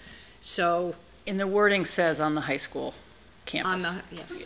So that that, So, It's not. one of the avenues, later on in your agenda, we're going to give you an update on the FY twenty budget, which includes the, um, operating budget and the capital plan. Um, so short of this not having a motion, if you were to vote down the capital plan later on in the agenda, otherwise, I think, moving forward, you're, you're all set. Okay. So I would suggest that we can plan to stand with the vote we have unless somebody makes a motion to open it back up. And once, to- in, in that case, we will push it forward if we vote, so, to the next meeting. So that's. Amanda, do you have anything? This is a hard one for me. Um,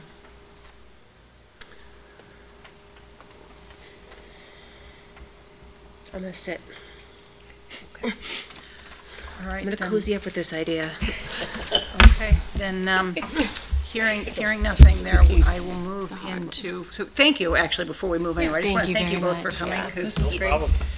You bring a level of um, comfort just in hearing your perspective on it, so. Thank you. Thank you very much. Thank you, Susan. Have a good night. Good night. Yes, Great too. to see you. I always like to think, hope you have a quiet night. Right, right. All right, so that brings us back uh, down to liaison reports. Oh, I have one of those. Excellent. Um, we, uh, speaking for the policy working group, we just did a couple, of quick visual, although it's, a, it's, I can give it to you verbally, but it's good with the visual, so we'll use the slides. We met today, um, just to update you on what we're, we're working on right now. Um, our focus right now is standardizing the naming, and if you look at our policy manual, you will see a mix of policies, procedures, and forms, and a little bit of whatnot that's out there in our policy. So what we are trying to do to make things um, more comprehensible to everybody in the community, including ourselves, is to standardize the naming of forms and procedures.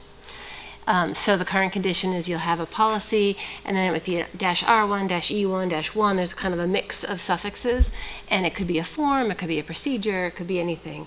So we are um, moving to, with the process of changing to the naming convention that you see. So if there's a procedure that hangs under a policy, it'll be the policy code dash PRC and then a number, sequential number, one, two, three, four. Same with forms, again, the policy code, a dash FRM, and then the number. And hopefully we won't have a lot of the whatnot, as we're going through. But if there is a reference document, um, which we found potentially one of, it'll be the policy code dash, I think, REF, and then a number. Um, so that when you look at something, you clearly know what you're going to get when you click on it. So we're going through this, if just, Carol, go to the next slide. Um, so the status of the cleanup is that we've reviewed all the policies alphabetically through IHBG dash E1, which clearly violates our naming. Um, so there, there are a couple of different outcomes in our review. One is it's a simple rename, and I gave you a few examples here, like we had EEA-1, it'll become EEA-PRC1, it's a procedure, it's bus safety. Um, and you can see, read those examples, but we, we don't think those need a vote from the school committee. That's just a naming change. It's not a content change. So we'll just go ahead and do those unless there's any objection. Um, there are a few things that we're finding that don't really belong on the list at all. Um, and we'll share with you the list of those things that we find. I gave you a couple of examples here. Um, there's ACER, which is a grievance procedure for complaints alleging violation in section 504, et cetera. It's, this content is not really a procedure. It's, um, and all of it is contained within our handbooks, which the high school and middle school handbooks are policy. Um, and the elementary handbook has this language as well. So we don't really understand why it's in our policy manual. We don't think it belongs there. Um, it's not in the the um, Massachusetts uh, School Committee reference manual. So that's an example of something we think could just come off. It, it doesn't really add any value. Um, likewise, IHAMB-E1 is the parent sex ed notice. It's actually a form letter. We don't, we're not in the habit of putting form letters that principals and other administrators use in our policy manual, um, so it probably doesn't belong there. Uh, it doesn't have anything to do with the policy or how we implement it. It's just a, a sample letter that principals can use. So there are some things that will come up that we're going to recommend we just take off, just as a heads up. And then the last slide. Um, and then there are some that as we're, you know, going through this sort of global cleanup and looking at all these policies, we are still finding things that um, need a little bit more review.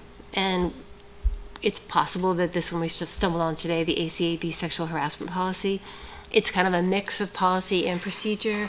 The MASC reference policy is also a mix of policy and procedure, and it's got some hard-coded names. It's not really a good model for us. So we just kind of tag that as for review later, and that will come back to the school committee if we make any changes. So that's kind of what we're up to. Um, and we're hoping this will also be good groundwork for the cutover to the new website. So when the policies go live, they'll be clean. This is great. Did I miss anything? I think so, but I, I mean, the things that we're considering taking out are not policy. So it wouldn't be something that would affect all of us because, yeah, they're, they're just, we, we, every once in a while, we find some random document in there that is, you know, at some time was very important, but at the moment is no longer relevant to whatever it is that we're doing. So, yeah. Amanda did a great job.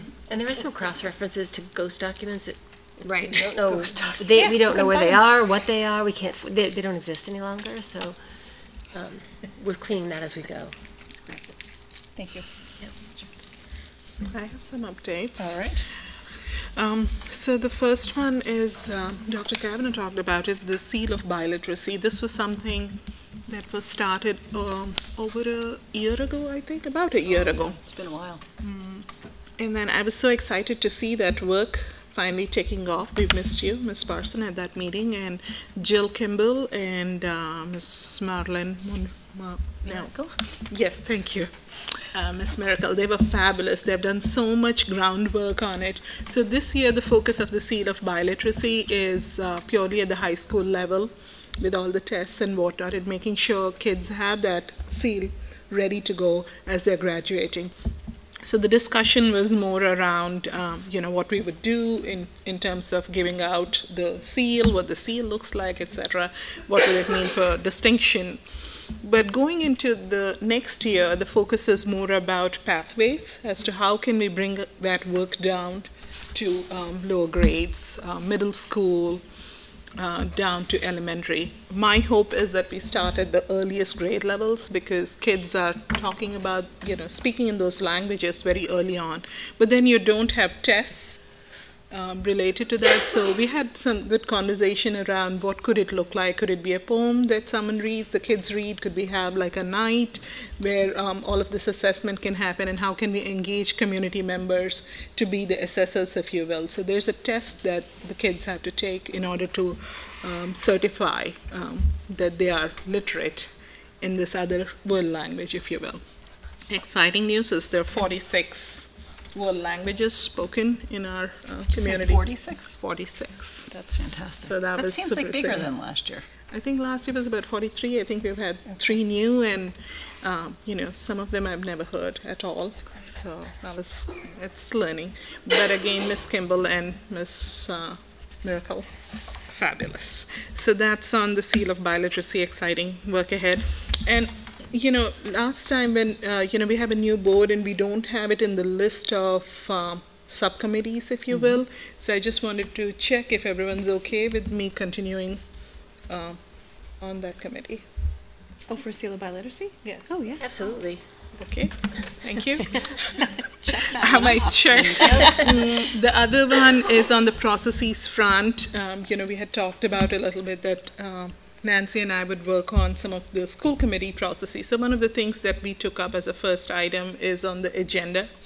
And I, I think, Amanda, you had also talked about it. So we're trying to put together a calendar of through the entire year, what are the areas through, uh, we go through with regard to the agendas. So um, a skeleton or a framework, if you will, a skeletal framework, um, to kind of guide us through what those agendas look like. How many of these are initiated by community members? So, for instance, we have uh, Mr. Kilduff usually come in for the 26.2 and BAA Foundation or some of the items which are field trip related. So we're kind of trying to draw out what the agendas look like so that if any one of us want to bring in what is the time frame where we see some uh, possibilities. So more on that later. We had a good conversation on that. We had a great conversation on that, and I think you're not, um, you're, you're humble and you don't highlight how much work you actually put into setting up the spreadsheet that I think is really going to help us going forward and to, to be able to look at what we're doing is a, a larger planning process. That was really great. I was very impressed, so thank Thank you. you. I'm excited for everybody to see it. That's check. Uh, a few more. One one more is the marathon fund committee. Uh, we had a we had a very good meeting. We had um, uh, um, someone from the middle school, Michael Webb, uh, who is a coach as well as. Uh, uh, he's part of the START program. He had come with a funding request, uh, and uh, that is under consideration. So it's nice to be on the other side and kind of listen to some of it, and that's a possibility. But on the Marathon Fund Committee, I'm helping uh, and working with uh, Josh Grossetti from the town side to kind of highlight some of the work that the Fund Committee does. It's a fabulous group of people. Um, and on the community communication front, we have been growing quite a bit, and we feel that we are getting to that place where we possibly uh, we have ha- we have had no chair, no vice chair, none of that. So we're getting to that place where we feel we need to formalize some of the work. So that's something that's happening on the community communications group. Last but not the least, on the senior center front, uh, Dr. Cavanaugh um, has been able to initiate some work uh, with Karen Renaud, is it? And with Amy Beck, who's our senior center director, to um, put together a program possibly in May for seniors called Senior Prom. Um, more details to come. So very exciting work there. And there's one thing that I have not been doing a great job of, which I would like some help with, is uh, liaison to the planning board. So I, I, you know, if there's anyone who's ready to take that on, that would be a huge help. What time do they meet, Lena? Mondays.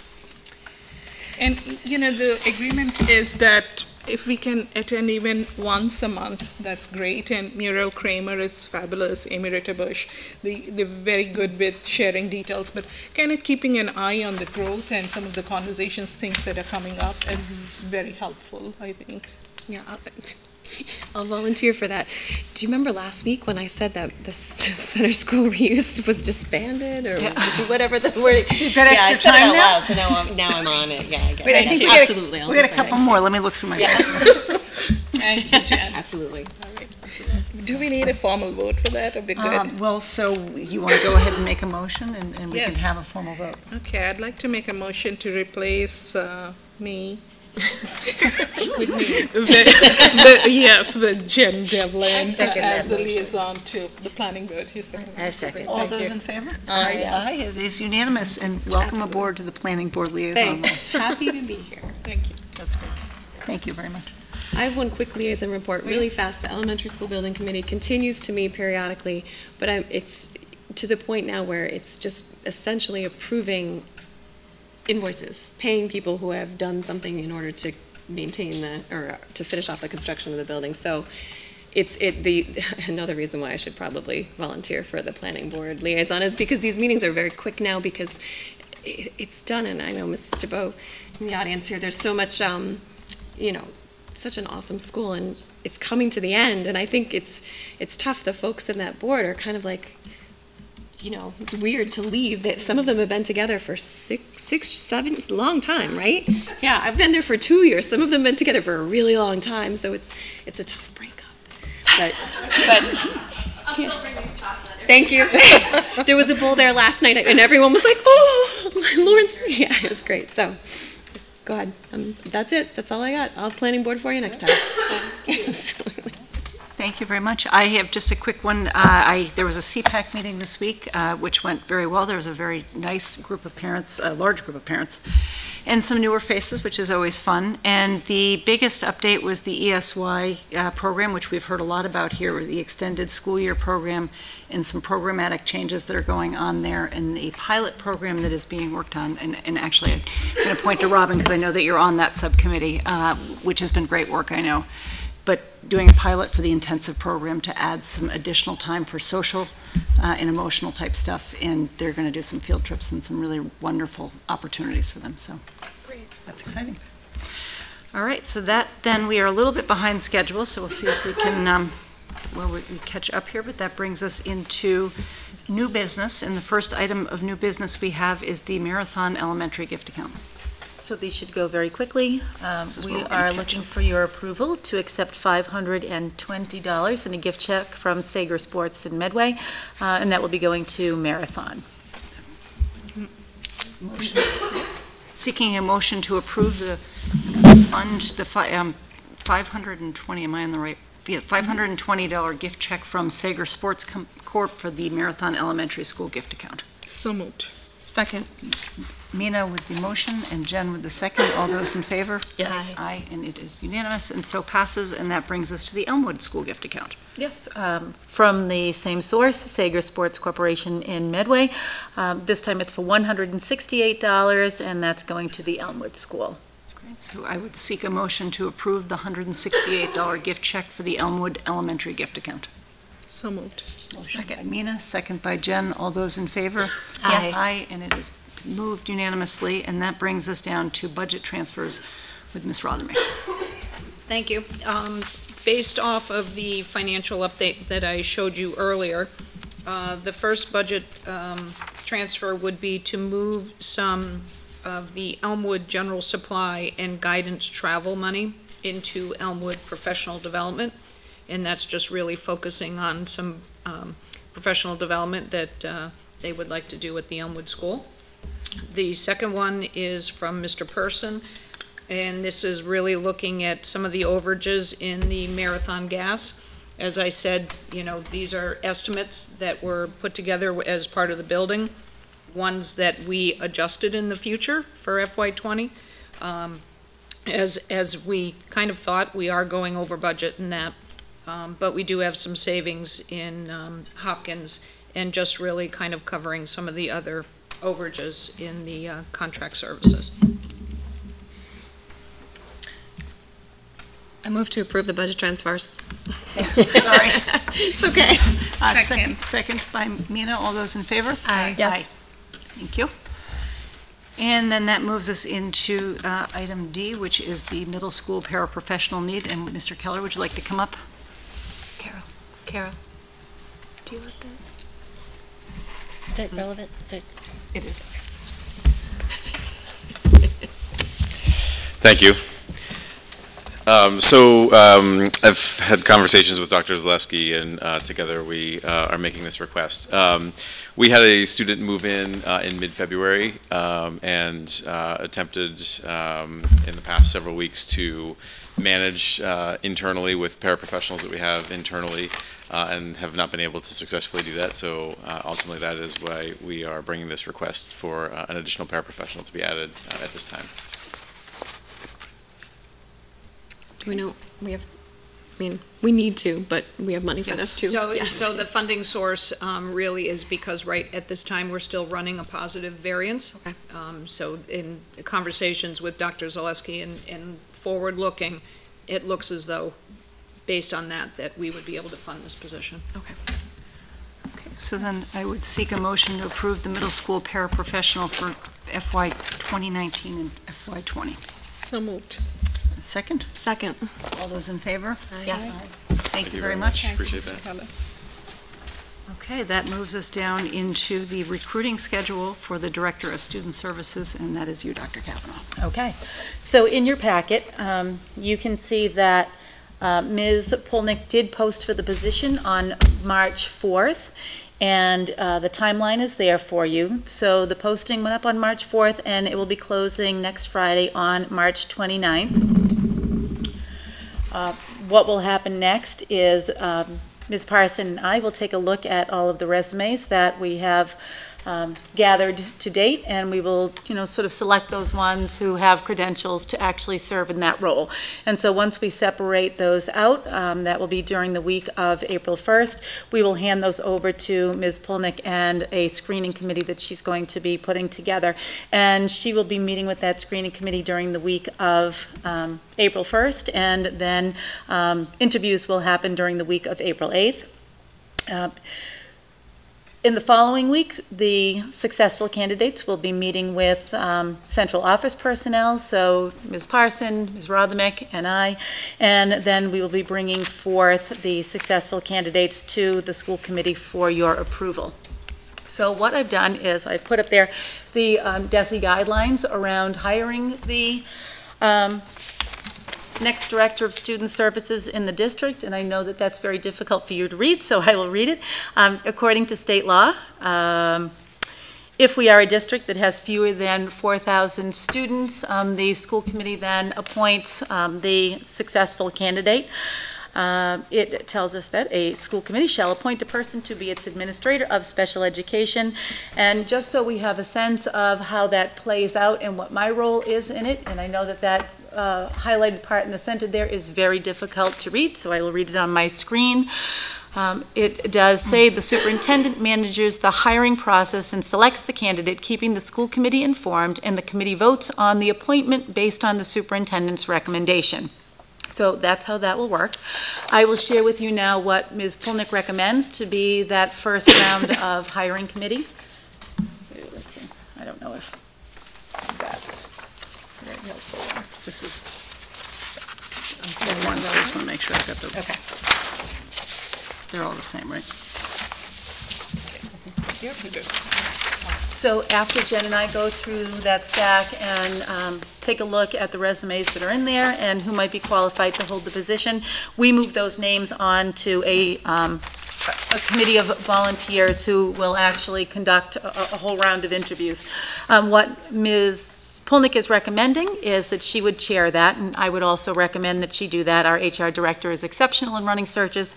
Uh, She does it all the time. And um, she would also reach out to all of the people who appear on this list. So in terms of administration, she's recommending one secondary principal, one elementary principal, and the director of technology. For professional staff, she is looking for um, an elementary SISP personnel or a SPED teacher, a secondary SISP person um, or a SPED teacher, an elementary team chair, and a secondary team chair. So there would be four professional staff. Um, She's looking for one special education administrative support staff, would probably be the secretary to the Director of Student Services, Ms. Kresko. And then we would be looking for a parent or a community member and a CPAC rep. So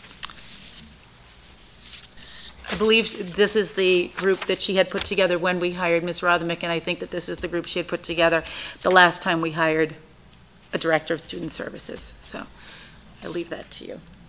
So I think I would like to see an additional, either a school committee rep or an additional parent rep on there. I don't know if others have any. I was surprised not to see a school committee rep, but I haven't been through this before, so I'm still learning.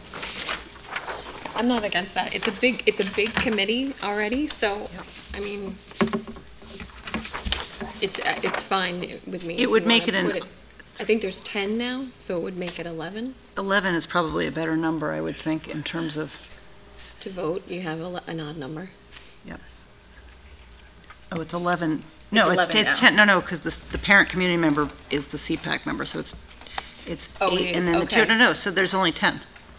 You're- I bet you Oh, can't- okay. this one- I was, I was thinking of a parent community member and a CPAC rep. but- Okay. Oh, I'm, If I that's thought not that, and it I, might- I thought the CPAC person was the, because there's a colon there, I thought I that was see. the parent community member. Right.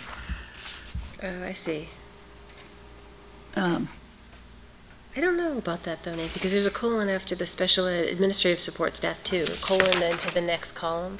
The, well, not wh- where it clear. says for professional staff and there's a colon, the, the numbers that are under there are, are included in that four. It I says agree four with you. professional Yeah. staff, then one elementary one. It's not So four then and. there's nine. There's, there's 10 on here. 10. Uh, I see, okay, got it, got it. So I would think more than one parent. You would think, yes? More than one Yes, parent that of would some be, I, I would think either a school committee member or, and I, or an additional Additional parent. CPAC? Right, Or either, parent? it, it could be two CPAC members, or it could be, I would be fine with that as well. Does that, unless, Is, are there parents of children with special needs that aren't members of CPAC? Should we make it specific to CPAC? Or should So we we make it? could- a well, parent? so that would. I don't know. I, I don't know the answer to that question, so I So, defer to you. it's as a- so, I don't actually believe when we say, I mean, CPAC's open for anybody to join, but I think we could, to kind of reach a broader audience, we could do, get it at two ways. Typically, what we've done when we've invited CPAC members on, to our- any of our selection committees, is we ask the board to select somebody of their own, from their own group. It doesn't have to be a CPAC board member, but it should be somebody CPAC. We could do that, and then in addition to that, we could have the second parent person be sent out through, like the, have a listserv sent to all parents who have children uh, who are on an IEP or Receiving 504. services, okay. Yeah. Okay. To- Does that make sense to you, to do it that It way? does, or- surely, yeah.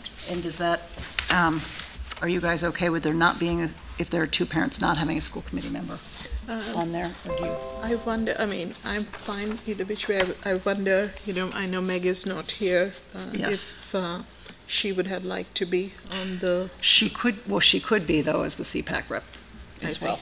Okay. That It would if be a there are two for one. It would be, it- there would still be two CPAC members, so I I guess I'm- we're maybe getting caught up in semantics, because she could represent either the school committee or CPAC. I see. And in And the terms, five of you will have a vote at the end. Like, you'll have the Yes. final Yes. appointment for the position. um, and in terms of um, uh, the schedule, Mm-hmm. um, would you have any idea of how often this committee would meet and, you know, how many rounds? Is there any sense of the time commitment required of uh, the community members? It's and- typically not onerous. So of those 11 people that you see on this sheet, they would meet once with Kim Polnick to determine who is asking what questions. And so that meeting is, you know, maybe it takes an hour, an hour and a half. Um, And then the day of the interviews, you know, you might sit through three, four, five, six interviews, depending upon how many candidates that the two of us put forward. So I would say it's probably the better part of a day, and um, maybe like an hour's sort of training, if you will. Okay. So a question uh, in terms of community participation, I know that the school committee interviews are public, and that what we've done in the past is we have provided feedback forms that people could give feedback that were at the meeting uh, Mhm. for the school committee to consider. Is that something that will be done? Sure, that's fine. Could be done, okay. That in, makes sense. And do we know how many finalists we're looking for to advance to that? Is there a particular number, or just based on what you see is how many you'll advance forward? I would say that we're really just looking to see who applies, who's, you know, sort of qualified for the position, right? And this is strictly um, Kim Polnick running it. We don't have an outside consulting agency. That's correct. We do Okay. not, we're not using a consulting agency for this position.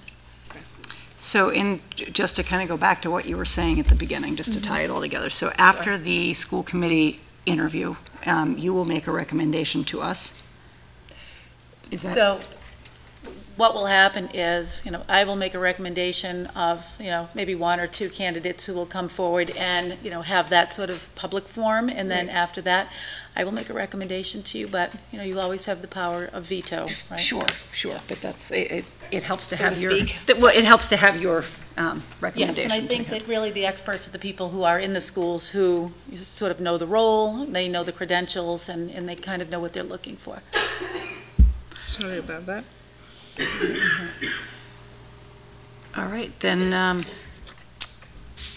if there are no other questions, I would seek a motion to, well, actually, we'll, to approve the recruiting schedule and the, we'll, we'll do two separate motions. The recruiting schedule for the Director of Student Services. So moved. A second. So, motion by Mina, a second by Jen. All those in favor? Aye. Aye, so that passes. And then a, um, mo- a separate motion to Maybe, should we just call that, a- establish a committee for hiring the Director of Student Services as opposed to a subcommittee? It feels like it's odd wording. Sure. So, um, a motion to approve the formation of a committee, of- is that what we want to say? A- a Formation of a committee for the Director of Student Services recruiting. A s- Maybe for, hi- for hire- interviewing the Director of Student Services? I mean, that's what The that committee will do, selection right? committee. They will work as the, that sort of second line of. And the selection, I mean, they're. The screening committee. Screening committee. Mm-hmm. It, it- well, they're not screening the inter, the resumes though, are they? No, they're taking a lot Well, of screening that's- resumes. Yeah, they're screening it to the next level though. And they'll come back with a recommendation, correct? Yes, so, you So- know, so they maybe may this- find that of six people, three of them felt, you know, good to them, right? And then those folks would be moved on to the central office level of, of interviews. So maybe that's the task of the, uh, you know, I guess we've used the word subcommittee typically because they are under the school committee, right? It is that,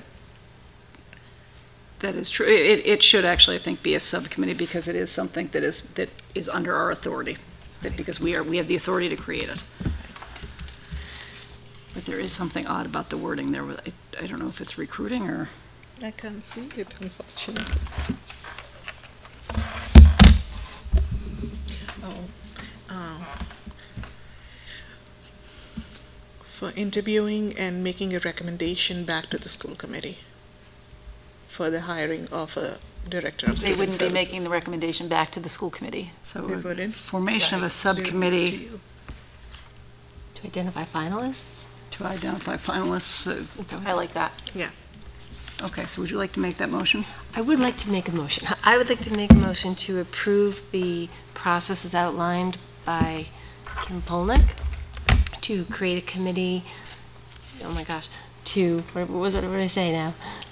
To recommend finalists for the position of Director of Student Services. I second that.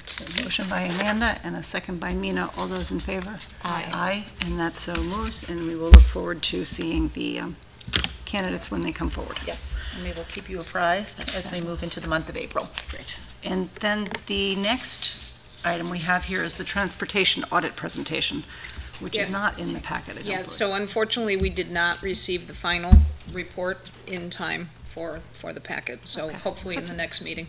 Okay, so, Yep, so. so we're not going to discuss this at all. So We're we not just- gonna discuss We just this caught at up. Because that would have Back been. on schedule. We- We will look forward to seeing that, because I know that will have some important information. So have you received it? I have received it, excuse me, in Okay. draft form. Great, so but that we can get it I did to- not want to No, I- I just want- present the draft. I- I think I- it's more important to present the final. I appreciate that, um, and I will look forward to seeing it next time. So that brings us into the unified track coaching stipends, um, and that is you, Dr. Cavanaugh. Okay. So last year, you approved, um, unified track, and you approved some coaching stipends at that point in time.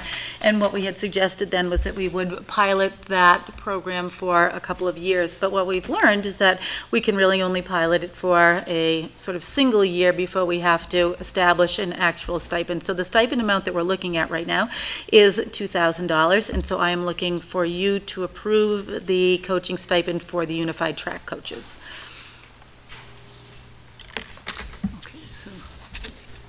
I will make a motion. Do it. I'll make a motion to approve the stipend for unified track coaches. Second. Second. Motion by Amanda, a second by Mina. All those in favor? Yes. Aye, and that so carries, and that moves us into the uh, FY '20 budget.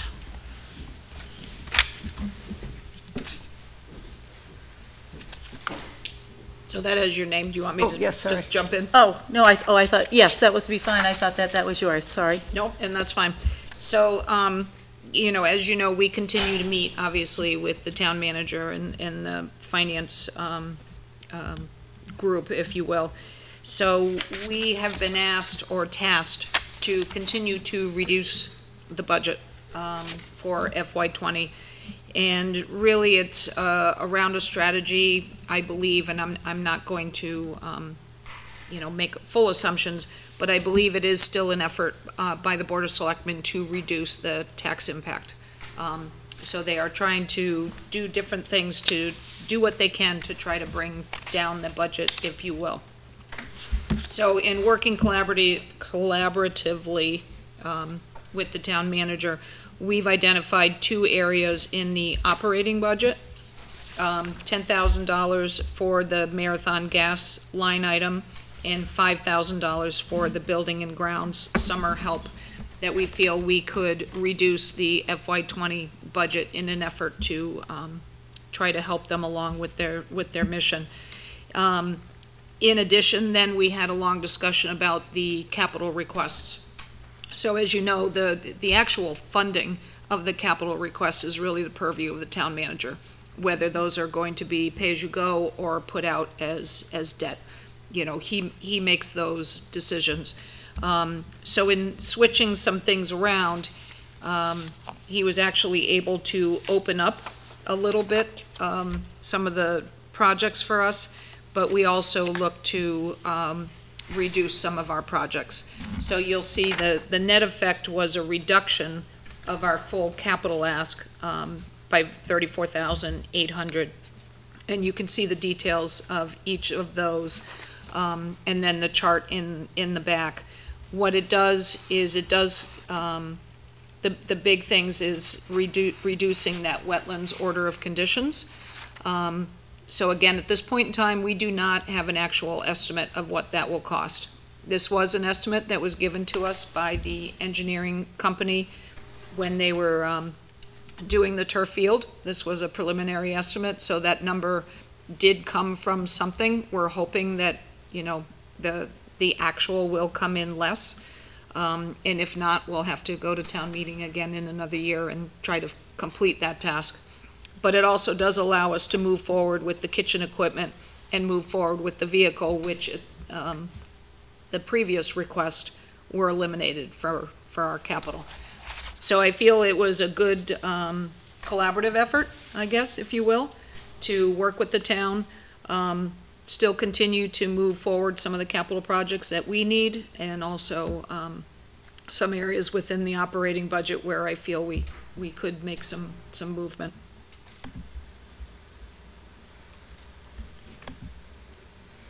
Okay, so you were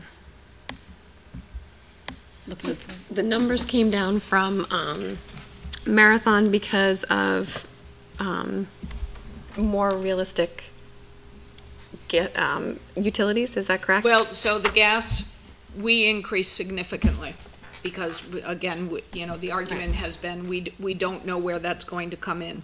And as you saw from the budget transfers, we are going over budget. But in projecting out, I think we'll still come in below what we budgeted for twenty. So it's still a difficult year to gauge, because you have, um, you know, even though we'll have more history, some things are still kind of running on a commissioning schedule, if you will. So you, you know, you're still having utilities that are doing this as opposed to really normalizing. Mhm. Um, Probably will take a good two years to get a real normalizing schedule. So I do feel there's room to bring that down a little. Okay. Ms. Rothermich, I um, actually read through the memo that was very well written. Um, One request that I have put forth in the past also is some description on all those items. It simply gives the highlight. It doesn't give any detail in there. So if we just say capacity study and fifty thousand dollars, or if we say, you know, bus parking lot, um, say two hundred thousand or three hundred thousand, I'm, you know, speaking the numbers off the top of my head. I think it helps. I know that we talk about this, but to have it right on the document, I think it's very helpful for the school committee as well as for the community when we are asking for something that's adding up to one point three million dollars, I'm rounding that up. I think it's helpful if, if we can add some level of detail. So if you recall in that uh, school committee questions document, I had put in the detail of every capital item. So it, it is in that document that was, that is shared with, with the committee. It's in a document? Yes. I think, you- I think even more in the packet so that the community sees it, not like a working document for us, but more um, baked into the process, just so that as people are going through this, if they're following along at home, they, um, real time can have the memory jogged. It's just hard when they're not working with it from day to day. And I understand some of it is, you know, this is just a projection. You don't have everything nailed down in terms of details, but to just have some high level, I think that'd be helpful. And I have to look back at which document are we talking about? This is the one here, all the questions that are, it's, it's Oh. long, but it's, yeah. How, how? Yeah, I have a question about the questions document, but we'll, uh, we'll get through that. How pressing is the wetlands order of condition? Is this the one that we inherited that had been sort of mm-hmm. overlooked? That's Okay, so in, because we made a significant cut, as you mentioned, so if, if for some reason forty thousand is not sufficient and we can't do it this year, it's not urgent. Well, it's been about 20 years. It's been, so- okay. That's the date on it, yeah, yeah. Just want to be clear, yeah. Yeah, I mean, it is something that, you know, from our perspective, we would like cleaned up. Correct. And, you know, I believe from the Conservation Commission's perspective, they would like cleaned up. So it is something that we don't want to continue to perpetuate. It has been a problem that we inherited, you're, you're correct. Um, Somebody's got to shut the door and get it done. Yeah. So we're hoping that we still can. Okay, it might be realistic even at that low, lower number. You know, I. Yeah, okay. I don't know. I, you know, the, the, um, the, uh, replication was reduced from a two to one to a one point five to one. Okay. You know, so that, you know, how much effect will that have on the number? The actual location, which we've identified, um, as the potential of where it will be, will have effect on the number because of access. Okay. You know, the harder it is to access, obviously, the number goes up. So all these factors play into what that number finally will be. Okay. But they're doing that study currently. Okay. Um, I don't know that we'll have a, a good number for town meeting, but, um, you know, we'll have to continue to march forward and, like I said, just shut the door and get this done. Okay, that sounds good. Um, With regard to the questions document, so you're talking about that common shared drive where we are posting the questions. I actually want to bring back that process once and make sure that, you know, many times by the questions that one asks, that can, you know, kind of show, I- want to just make sure that there's no violation in terms of OML or what have you with regard to the process. And, you know, when you ask a question that can imply where you're leaning towards. So I just want to be on the clear with regard to that process. Um, well, and that's why it, it's always, whenever it's shared, it is not for deliberation. It's really to make sure that if one member is asking a question of us for further clarification, it's information that the whole committee deserves to have, so that everybody has that same knowledge base. Sure. But again, it is not for deliberation. Okay. Yeah, like I said, you know, maybe, maybe we bring it back, um, just for all of us to review, and perhaps you have thought through all of this and that, uh, there are no concerns there. Thank you. So you need a motion to approve this That's change in the capital, and I, I'm not good with looking at visual math and So the operating budget for the motion, the new budget would be forty-eight million, zero four four, nine hundred and fifty. Um, and that represents a six point six three percent increase. We were at six point six seven. And has this been reviewed with the town manager closely? Yes, that's what, Okay, we did, That's we where did this this came from. together with the town manager. And then the capital number would be what you can see, you could make the motion based on the chart that's part of the memo. Okay, so I would like to entertain to see if there's a motion to approve the revised operating and capital budgets as outlined by Ms. Rothermich. So moved. Second. Motion by Mina and a second by Jen. All those in favor? Aye. Yes. Thank you. Thank you for, uh, both for really, and all of your team for sharpening your pencils in a way that's whittling it down to, to meet the need for the town. There's a lot of negotiation there. I know, I, I have seen that, and I, I know it's not easy when we've already cut so much out of our budget to find places where you can pull more. So, Appreciate that. All right, I think I have to scroll back up. That brings us to items by consensus, is that? So, public comment. Oh, yes, but I think we're good with public comment. I do, I think we Uh, got it. i- In that case, then we are ready for items by, do you have something you want to say? Yes, so in the items by consensus, uh, this is just, you know, just me being picky a little bit there. There was one item that. Um, Like to pull out? No, no. Uh, One of the meeting minutes said, uh, Miss Cavanaugh, I think it's Dr. Cavanaugh who presented it. I think it was about the budget somewhere. Which one? One of the I meeting. never get credit for the big stuff. Sorry. That's a good catch. It Which looks like it that? was No, um, the- January you know, 10th. Right, so I'm that should be, that should be, cor- no, no, it should be corrected to be January reflected appropriately, because Which one is it? January carries 10th, a I little bit more um, January credibility 10th. if it's Dr. Cavanaugh that did it. down. All right, let me get. Which, do you know which one it was? Uh, No, I don't have my. January my 10th, big she girl said. machine Amanda died on says, me. is this the January 10th meeting? No. Which, did you, Jen, did you say which one? I think it's January 10th, sort of midway down. It But says that's- it Dr. was a lot Cavanaugh, but then it says Ms. Cavanaugh explained. I mean, it does. So maybe you it know, is you know, supposed to be Ms. Cavanaugh. Maybe it was Nancy. Maybe I had a smart moment. Oh, please. I actually think that one was supposed to be Ms. Uh, Cavanaugh. I have to look to see where it is, because I don't know. Budget one, I am pretty certain it was Dr. Cavanaugh who presented it. Uh, maybe we're not looking at the right one then. So Dr. Cavanaugh, public comment. How about this? Um, Well, we have to check if you want to check. I am so sorry. It should sorry be about accurate. It, no, no, this should be accurate. This is. Yes, no, we should, we should, we should check. In months to come, or years to come, people may want to question what we did. And if So they the think I said something I didn't. All right, Doctor. All right, so I'll, ch- I'll, I can check if you want to pull that one off. I'll just make sure that it. it- All right, the so we'll person who hold said that it one is for the correct. next. I'm just Hold checking that to see if there's Absolutely. another, Is like- this where you're talking about right here? Yes, yes.